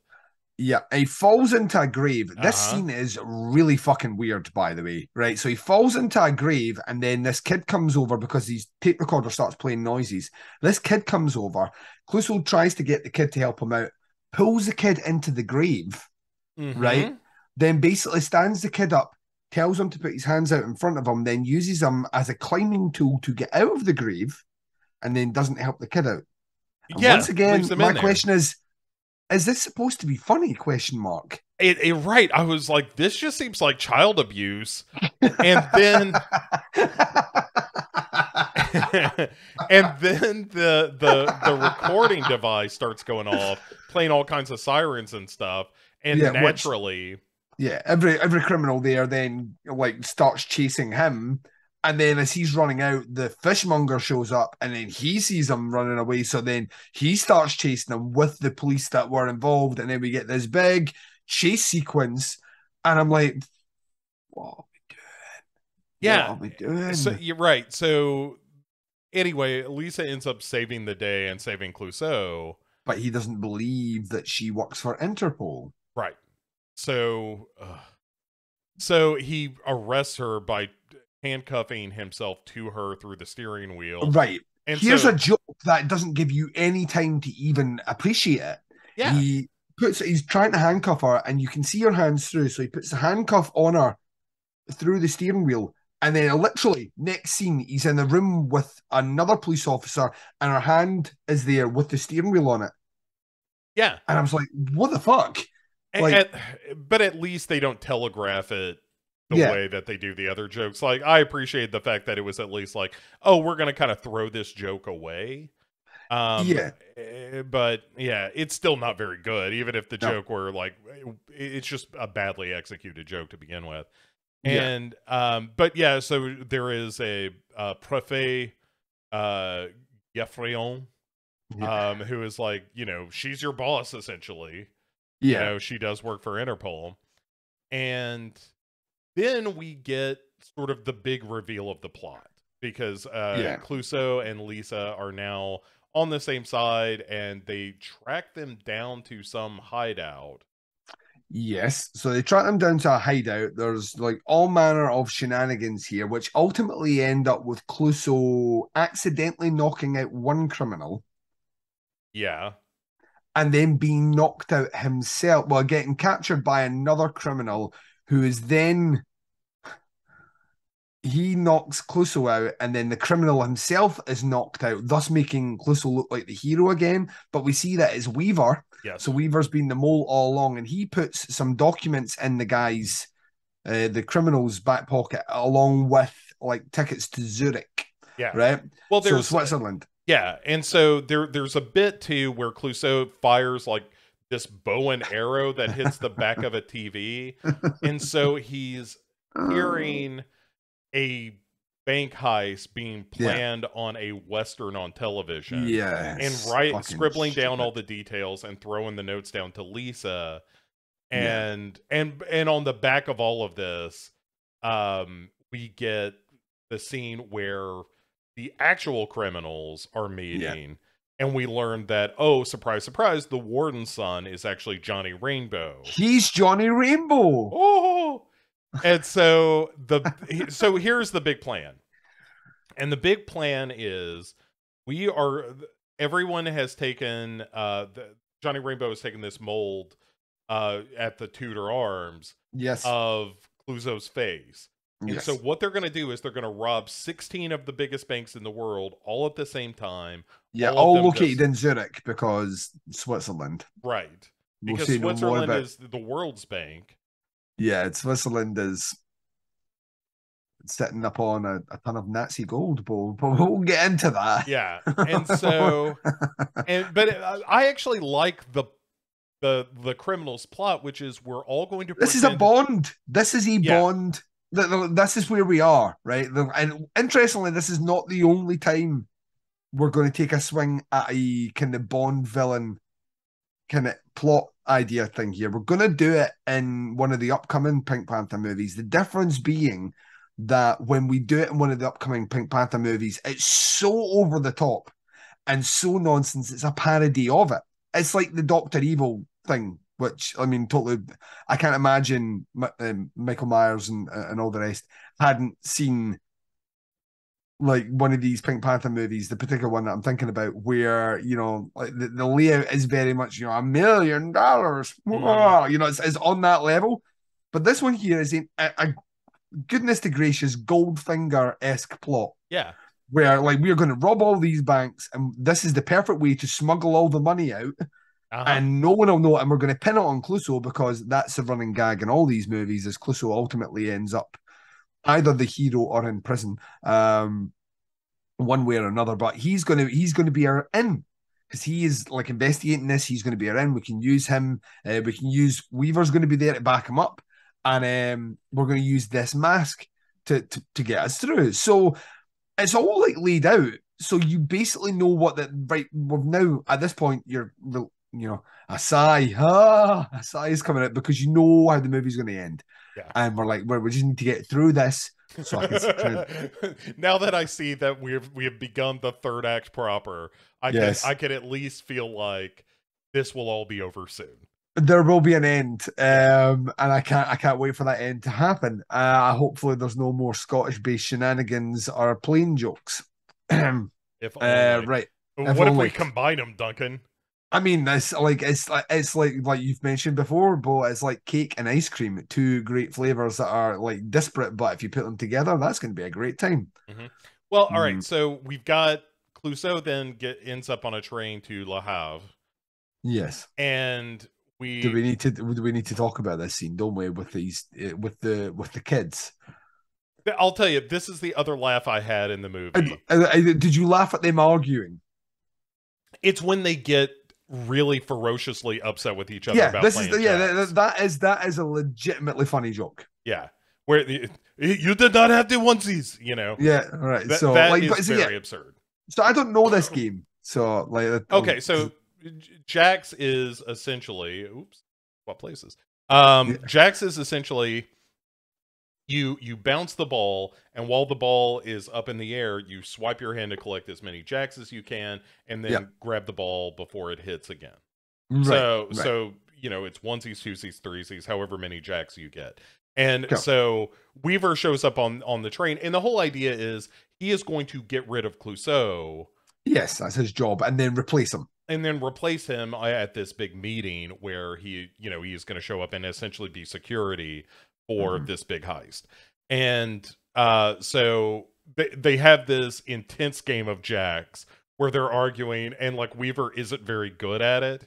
And so they're arguing about like, oh, did he get a onesie or not? Yeah, and It- Clouseau's terrible at it as well. And then, but there's the bit where the the the train, uh, the train conductor comes in and like, get out, get out, like Yeah. like, like shouting at him because he's going to distract him.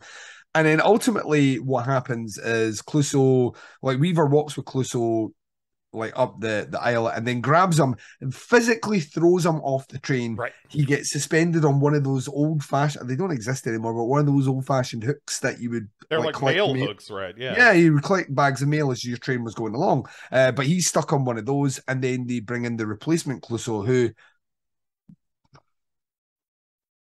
doesn't have a French accent, speaks upper middle class English, um, and no one seems to notice. And it's just so Weaver and Johnny Rainbow is playing Clouseau. Yes. Yes. and so they're telling the uh the the bankers the heads of all these banks that the best way to protect their money is to get them out of the banks and put them all Hmm. on these trucks and again the the the whole plot is oh it is Johnny Rainbow's men that are going to be piloting these trucks so as soon as the money's loaded on there they're going to steal all this money Yeah. Once again, it's a very it's a very Goldfinger sort of kind of plot to steal a lot of money. It, it does. It feels like lesser Bond. And um but yeah, like like I said before, Clouseau at this point now has a full English accent and no one's acknowledging it. Um Yeah, nobody is like, "Hey, what happened to your French accent, and why Yeah. don't you sound like Alan Arkin anymore?" and, and then like further to that, to differentiate the two, and this is mind boggling, um, they put a lot of eyeshadow on the fake Clouseau's top eyelids. yeah, as well as the English accent, just in case the English accent wasn't a giveaway.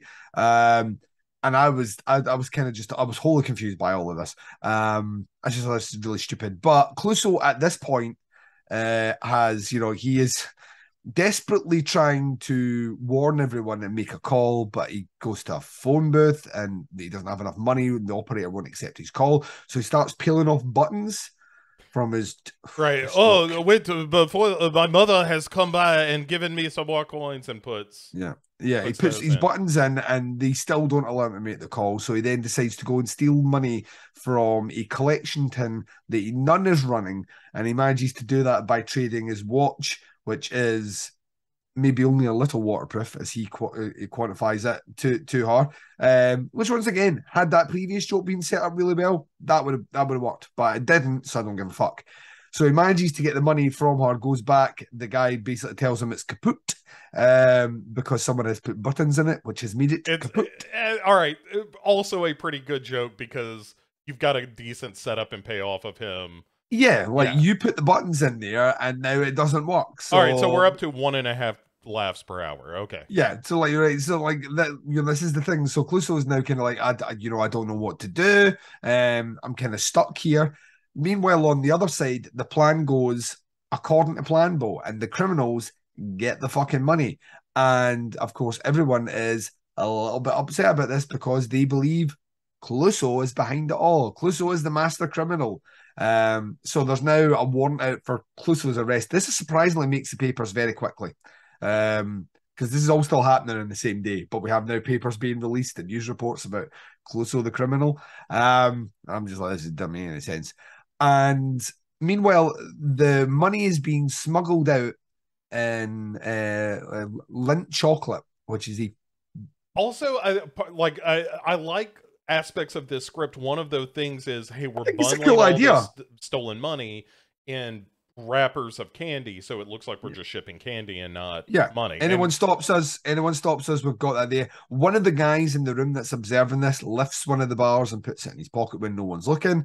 Um, and so ultimately he's brought in for questioning by these these Zurich police. Mhm. Uh, and they also managed to get. They've, so they've got Clouseau, and Clouseau comes into the room, and the guy's like, "You need to empty your pockets." To the the guy who was at the the crime scene, he starts taking everything out, including his bar of chocolate. And then Weaver comes in, and then Weaver's like, "What's going on here?" And they're like, "Oh, that." So Weaver tries to steal the chocolate. The chocolate then opens up, and it's revealed that it's money. Weaver runs out the door, right? They Mhm. can't find Weaver, but Weaver then puts a Clouseau mask on because they must have loads of these. And uh, when he puts that mask on, his frame completely changes. It goes from being kind of like that to then like Yeah, Alan yeah. Arkin. Weird how that happens. Um, and then he comes in, and then Clouseau and he have this fight. Uh, you have my face, you have my face. It's like face off, face off, rip this off. You know, have my Face face. off.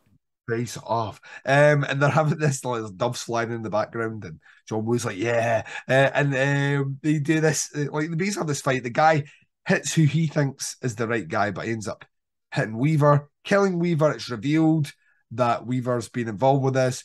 Clouseau is completely confused by this, but he's ultimately set free to continue investigating the case, which then leads to the next like gag, which uh, I don't want. If there was something in my hand, I would have thrown it at the screen, Bo. That's how fucking angry I got. So Clouseau's in his car in like a like a packed kind of traffic jam, and our buddy Steele walks up and is like that. Why are you still wearing that Clouseau mask? Because he thinks it's been reported that Clouseau died. Mm-hmm. Right. So why are you still wearing that mask? And Clouseau's like, aha, Steele, I got you. That's right. But he doesn't he can't find these handcuffs. So Steele's like, oh right, are they in your car? No. So he reaches in the car, grabs his keys, throws his keys away, and then Clouseau's still got his hand on it and was like that. Well, if you go and get your keys, I'll just stay here. So Clouseau lets go of his hand to go and get the keys. Steele runs away.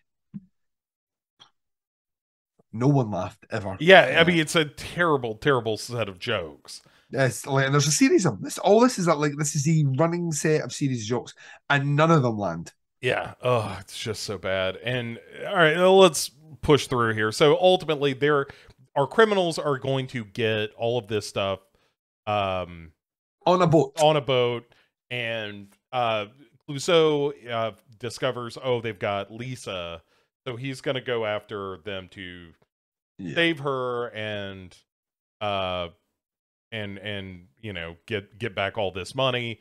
He ends yeah. up being dragged.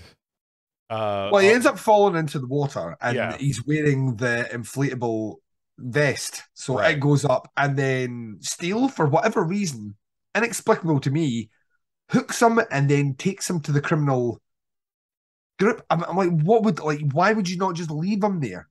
Yeah, right. So, Why are you taking him to everyone else? But they take him to everyone else, and it's revealed again, Bo, that Big Johnny Rainbow was behind it all along, and he is the warden's son. Yeah. So they throw him, uh, throw Clouseau in the you know bowels of the ship along with Lisa, and he kind of freaks out a little bit, and she smacks him for good measure. And there's a, a again, a incredibly corny like, "Oh, thank you, I needed that." Yeah. And Ugh. so he starts uh sets off his laser by accident once again he accidentally yeah. sets off his laser lighter as he's being pulled off the boat and what happens is it creates a hole in the boat so the mm-hmm. boat starts to sink right and so they're going to get rid of Clouseau and Lisa through some kind of means it seemed unclear to me why or how they're planning to dispose of them yeah, I, I think the idea is we're going to throw them overboard, and by the time anybody picks them up, we'll be long gone. Yeah. But then they discover that they're sinking, so everybody, you know, uh, peels off the ship, and yeah.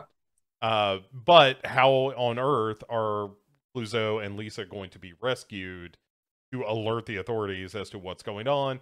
Oh, thank goodness there is his uh cigarette case slash recorder Yes. Which starts playing ambulance sounds and the sounds of police cars.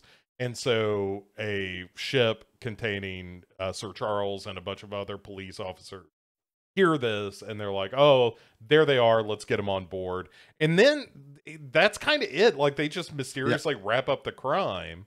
It's yeah, not the okay. last scene of the movie, but case solved, both. Yeah, um, it's it's a real kind of you know wet, wet fart. fart yeah, yeah. it's hundred percent a wet fart ending. It's like it's terrible. Yeah, it's like I wanted to see what happened to all these criminals. Like the most interesting thing about the movie was the heist, uh-huh. and once you know, once you've alerted the police, there's no like, ah, you got me this time, Clouseau, or or anything like that. Remember, a shot in the dark ends with all the all the criminals. Like you find that everyone's murdered someone rushing into a car which has been bombed, and they all explode. So that's finality yeah. to me. Yeah. As the audience, they're all dead, right? So yeah, and it's kind cool. of a fun gag of like, oh, yeah. oh, and by the way, this was a bomb intended for Clouseau because yeah, by his boss yeah. who he's driven mad. Yeah, like eh, weirdly, Bo, all the jokes in that pay off. Yeah. It's like they set that up uh, and it had a punchline and it was really well done. But no, no, Clouseau's now at the airport with um, uh, Sir Charles, who's basically in no no kind of short terms here, basically telling him, don't come back. like, but he's doing it in the nicest possible way. He's like, you know, it's been great working you. Like, don't feel that you have to come out. He's like, hey, if you ever need to head back and come back. And he's like, no, no, no, we'll be Yeah. fine without you.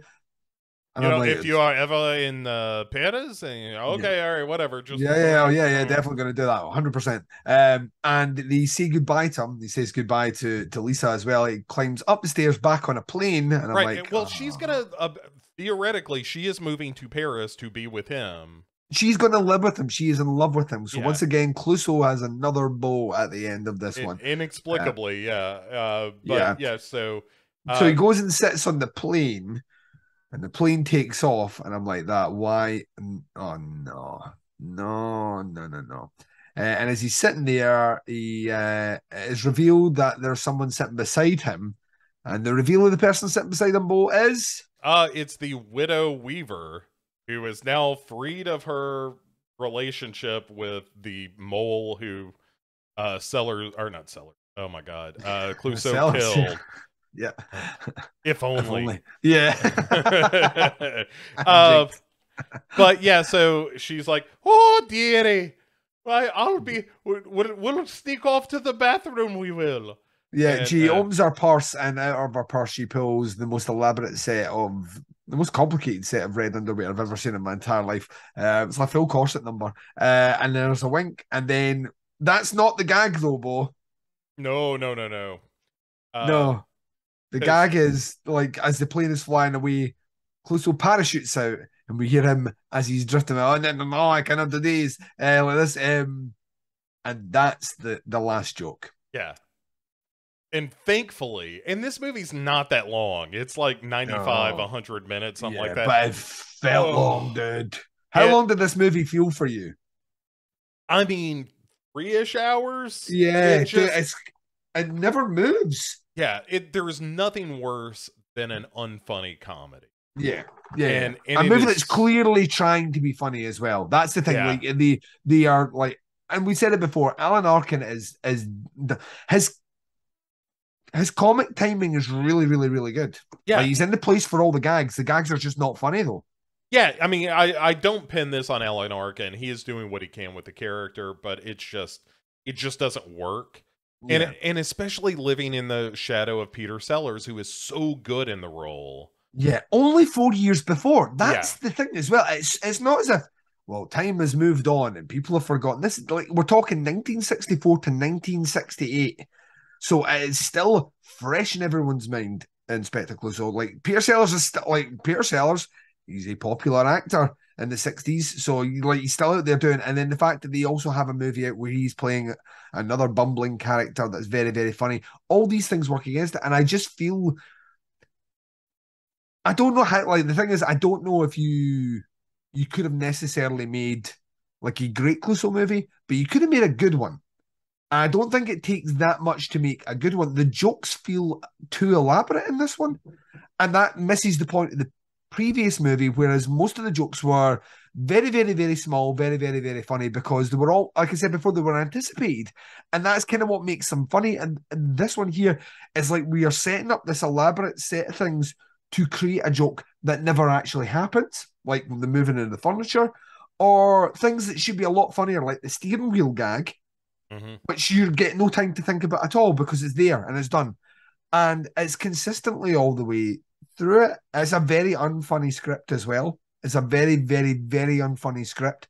Like Ar- Arkin, for the most part, plays the French accent like a French accent, whereas Clouseau in the previous movie, uh, Peter Sellers had started playing, but it gets more elaborate as the series goes on, but by mispronunciating things hmm in a comedic way. You know what I mean? Where people, I'm an officer of the law. And they're like, an officer of the the, the what? And an officer of the law. Uh, you know what I mean? Like th- these these things. And this one, Arkin doesn't do any of that. So it's a, essentially a relatively authentic fake accent, but it's not it's not played for humor. So like you're even losing the aspect. So it's not even as if his delivery could create humor. It's it's just it's a, it's such a weird oddity of a movie because it almost doesn't work on any level when you step back and look at it. It's like a failure across the board. Yeah, it, it's a right. It, it, it's a real misfire on every count. Yeah, yeah. They don't Yeah. get anything really right at all. And, and once again, it's not to take away from the performances. The performances are what they are, but it, it just is like nothing here really works. Yeah, yeah, and it, I mean it's a it's a real shame because I, I like Alan Arkin could have been a decent enough replacement. Again, you're kind of living in the shadow of Sellers, and and he's just so good in the role, and and Yeah. uh, and Alan Arkin has a has had a very long and successful career after this, so this did not Right. kill him, right? Yeah. Like, so we have to we have to kind of stress that the like the good the dude did the right thing. He put this to the back and just powered on. right, and uh, you know, in a movie I complained about recently, that new Minions movie, like he's still doing voice work and and still showing up in movies and that kind of thing. So like he's had a long and storied career, and and uh, is it the the out of towners or the in laws? One of those, the original, maybe it was the original in laws. Is Mm. it him and Peter Falk? Um, oh wow, yeah. um let me let me figure this out. But yeah like he and little miss sunshine he's tremendously funny in that. I forgot for a second that he was in argo and he's terrific in argo. He's one of those guys that can play like the street side of things very well as well. You know, what I yeah mean? the in-laws yeah sure enough. He is he is it's uh if you've never seen it alan arkin and peter falk in the in-laws tremendously funny movie. Um where you know they are the the titular in-laws and it turns out that peter falk is kind of a secret agent. Yeah, and and alan arkin as the straight man of the movie ends up being kind of sucked into this whirlwind adventure. And mm-hmm. it's it's a wonderful movie. It's very very very funny um so yeah uh, you know uh, this is not to impugn the good name of did, did not like I, this. Did not do like um, the aforementioned Mike Myers, who did that the Guru movie, and that basically ended his career for like a decade and a decade and the rest. Oh yeah, Um, sure. Like a- after Inspector Clouseau, I you know he was in Catch Twenty Two a couple of years later, and he Yeah. was great in that. And then yeah, swung right, swung right back hard. So, Right. but but we as viewers would have to wait. Let's see, Seven? two, seven, seven Yeah. years until we get the return of the Pink Panther, which once again just starts like they go back to basics. We get Blake Edwards back, we get Peter Sellers back, who are on technically the dim swing at this point. I don't think Blake Edwards had done anything hugely successful for a while, and Peter Sellers maybe wasn't as popular as he had been. Like we're now past the point of uh, Doctor Strangelove, so you know he's he's kind of he's starting to feel that maybe things are starting to slip away. So we go back to what we know, and we return to the return of the Pink Panther, which we'll see us once be, once again be reunited with uh, Sir Charles. This time played by Christopher Plummer because uh, David Niven did not want involved with the project. Mhm. Um, so they recast him. The recast is like Clouseau's wife, I think, is recast as well. Uh, so the original actress doesn't come back for that because she's now married to Sir Charles. Um, but you do get a lot of the familiar faces. So we are going to get uh, Herbert Lom returns. We're going to get Burt Kwok's returns as Cato. So we get a ton of these people that will make me very happy. It is also it's a it's a return to form. It's like a like you're gonna you're gonna and this is the first one where you get like the full on like exact like the beginnings of the full on exaggerated Clouseau accent. Like Sellers comes back strong and it has the, the infamous monkey scene where the guy with the accordion is uh, there's a minky on your shoulder. The guy's like "Em- I, I, I want he's like a minky. He says monkey is a, that is what I said. I said a minky. Um like so like we- we're gonna start going down that road. And things get this one is is is a, is a little bit out there, but it's fun. The one that comes after that is fucking bonkers. So I, I can't I'm- wait I'm to get back. super to- excited, man. Yeah. Super excited. Uh, all right. Well, before we get to the return of the Pink Panther and all its minkies, Minky. uh, where could people check out more of your stuff, Duncan? Uh, please check me out on Podcast Under the Stairs. We are officially at the point of recording this halfway through the summer series. So 20 episodes out, 20 still to go. I have officially finished recording. Me and Bo wrapped up the final episode. Uh, yesterday. So this has been a, a weekend of Duncan and Bo, and I've been living it. Um, always feel spoiled when I get you a whole weekend to myself, Bo. No. I'm I'm a greedy that way. It's, Uh, it's but like yeah. that winter cabin we shared that that wonderful Christmas. winter cabin that we promised never to talk about again. Oh. Um, did I do that? um so, oops. Uh, so yeah like please please show some love over there um i'm currently putting out about five or six episodes a week on that feed just for summer series and all the other various bits and bobs but uh yeah check that one out uh teapots collective is coming back in force in september um summer series always kind of constricts the amount of time I can give to that channel. But you are getting loads this month on that. You'll be getting Where to Begin With, which will see the Maltese Falcon uh, be reviewed um, and then passed off to the listeners to review. Uh, doing the nasty, continuing the run of nasty stuff that I'm doing with uh, Mark Ball. Uh, Chronicle, I'm returning with that with a solo episode looking at uh, Buttgereit's um, Schramm which is a movie a lot of people have not seen. They like kind of switched off af- after Nekromantik, but um, after Nekromantik 2, he did a movie about a German serial killer.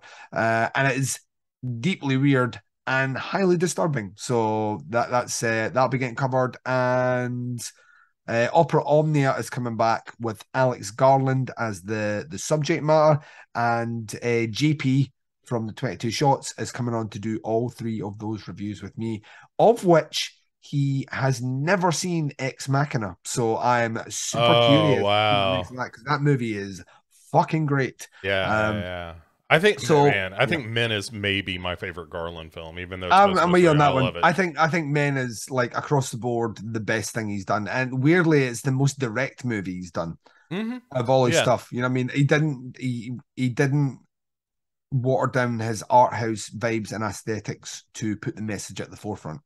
Whereas in other movies, I think sometimes his messaging can get a little bit muddled in some of the the visuals. But yeah, I'm with you. I think Men's he's best. So uh, we'll see if uh, if young Mister GP agrees with me when he, he joins me on that. Everything I do though can be found at teapotscast.com or wherever you listen to podcasts.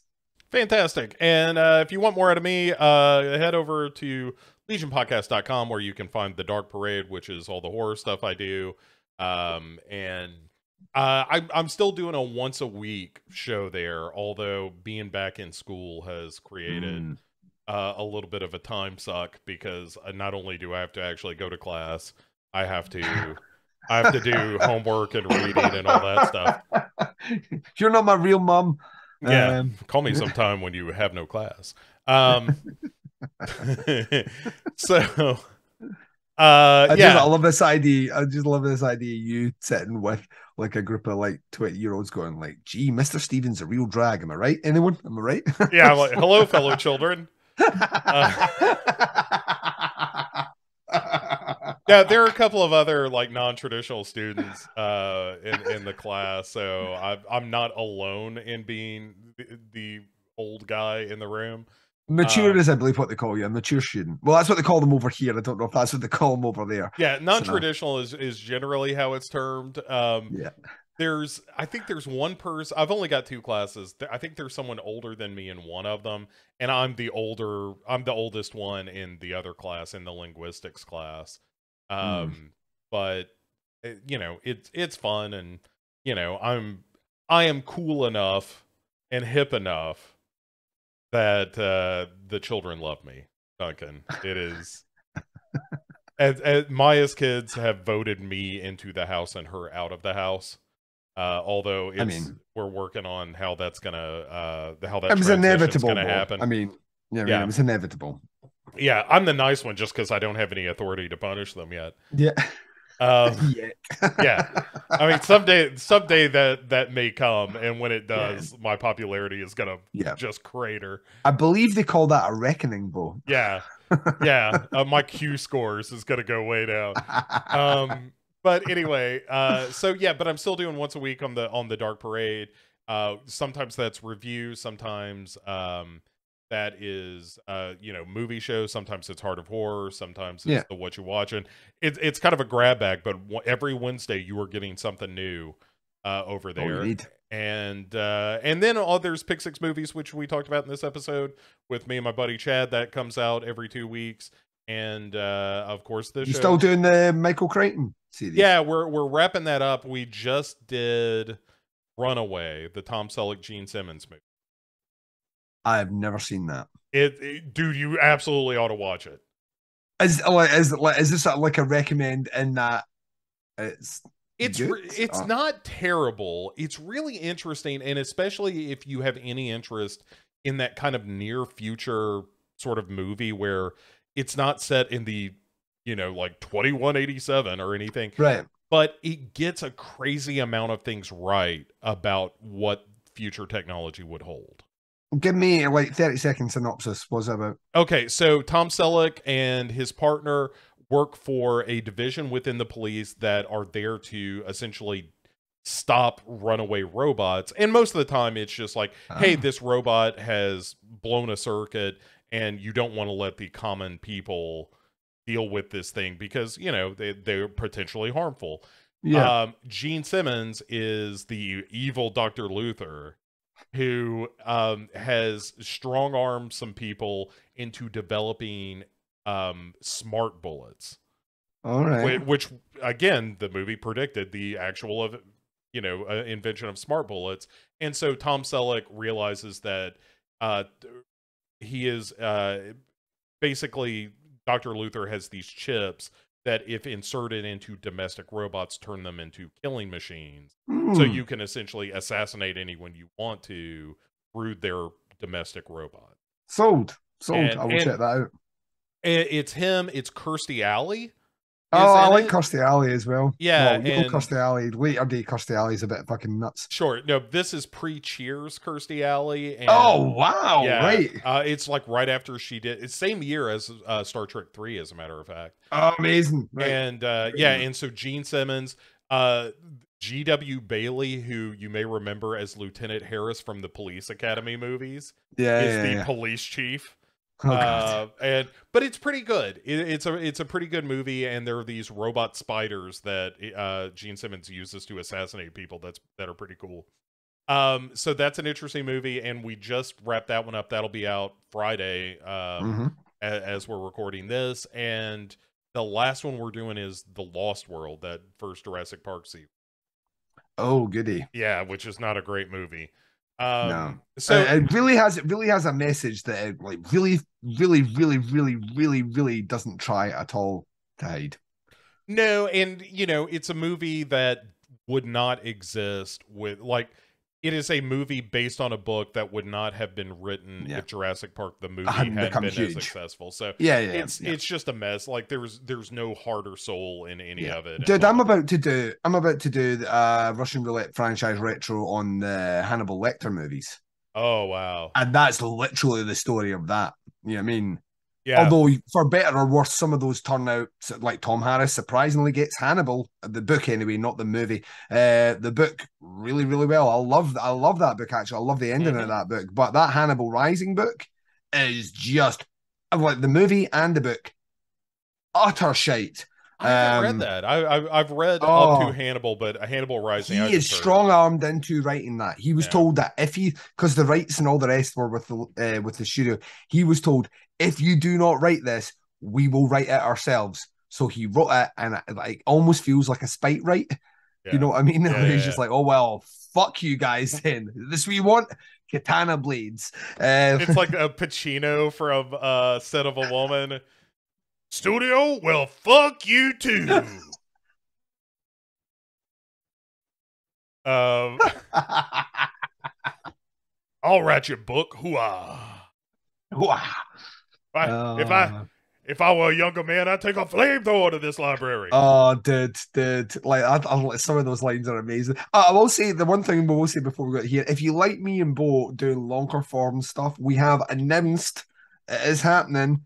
Uh, our director's conversation for Podcast Under the Stairs this year, coming at the end of the year, and uh, talk about Pacino a Powerhouse performances. She's got a great ass. yeah, Yeah, Yeah. we are going to be we're going to be doing Michael Mann, which I I originally started doing that on Opera Omnia way back in the day and Yeah. never finished.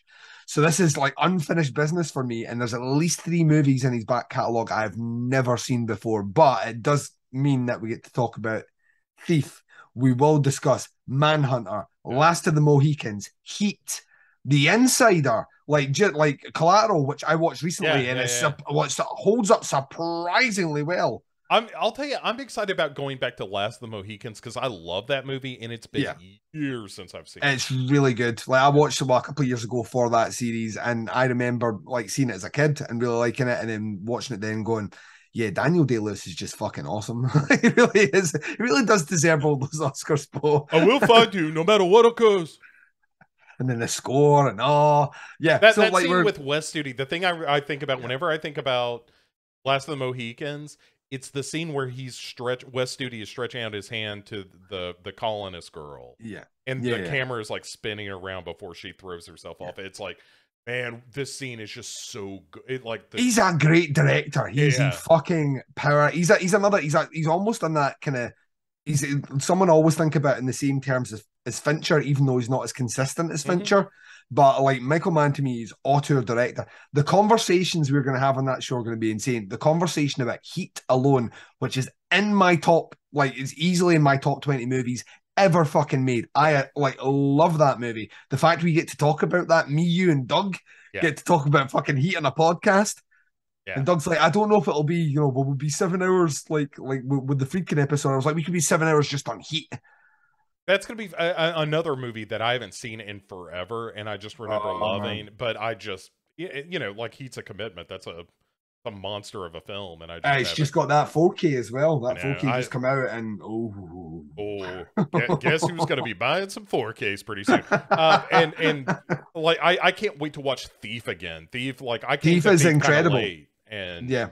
oh, No, so you did, yeah. Thief, Thief to me is I'd like I I think I don't want to give too much away. I think Thief might be in my top three that he's made. I think Thief is like absolutely It's- James Caan is yeah. fucking incredible. You've got Tangerine Dream doing the score. It's just like it's just, it's a Duncan wet dream. It's just Yeah. like hits me on all these different levels. So yeah, it's um, god tier Jimmy Caan to be yeah, sure. We, Uh, we we are going to have the best time doing that. So yeah, that's what you have to look forward to. End of the year, myself, Bo, and the the the evil genius that is Doug Tilley, yeah, uh, lover of everything science crazed, will be sitting down and uh, and doing all that. So the countdown, I dare say, on the on the Duncan and Bo's leading up to that, occasionally we'll talk about revisits to Michael Mann movies and our best and worsts. for sure, for sure. All right, uh, enough of this business. Let's get out of here. Uh, only thing left to do is to say to my good pal Duncan, say goodnight, Duncan.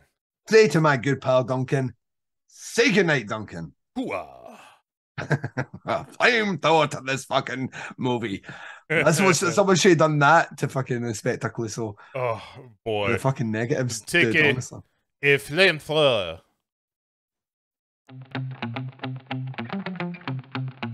Uh, you have a minky on your flamethrower? Done.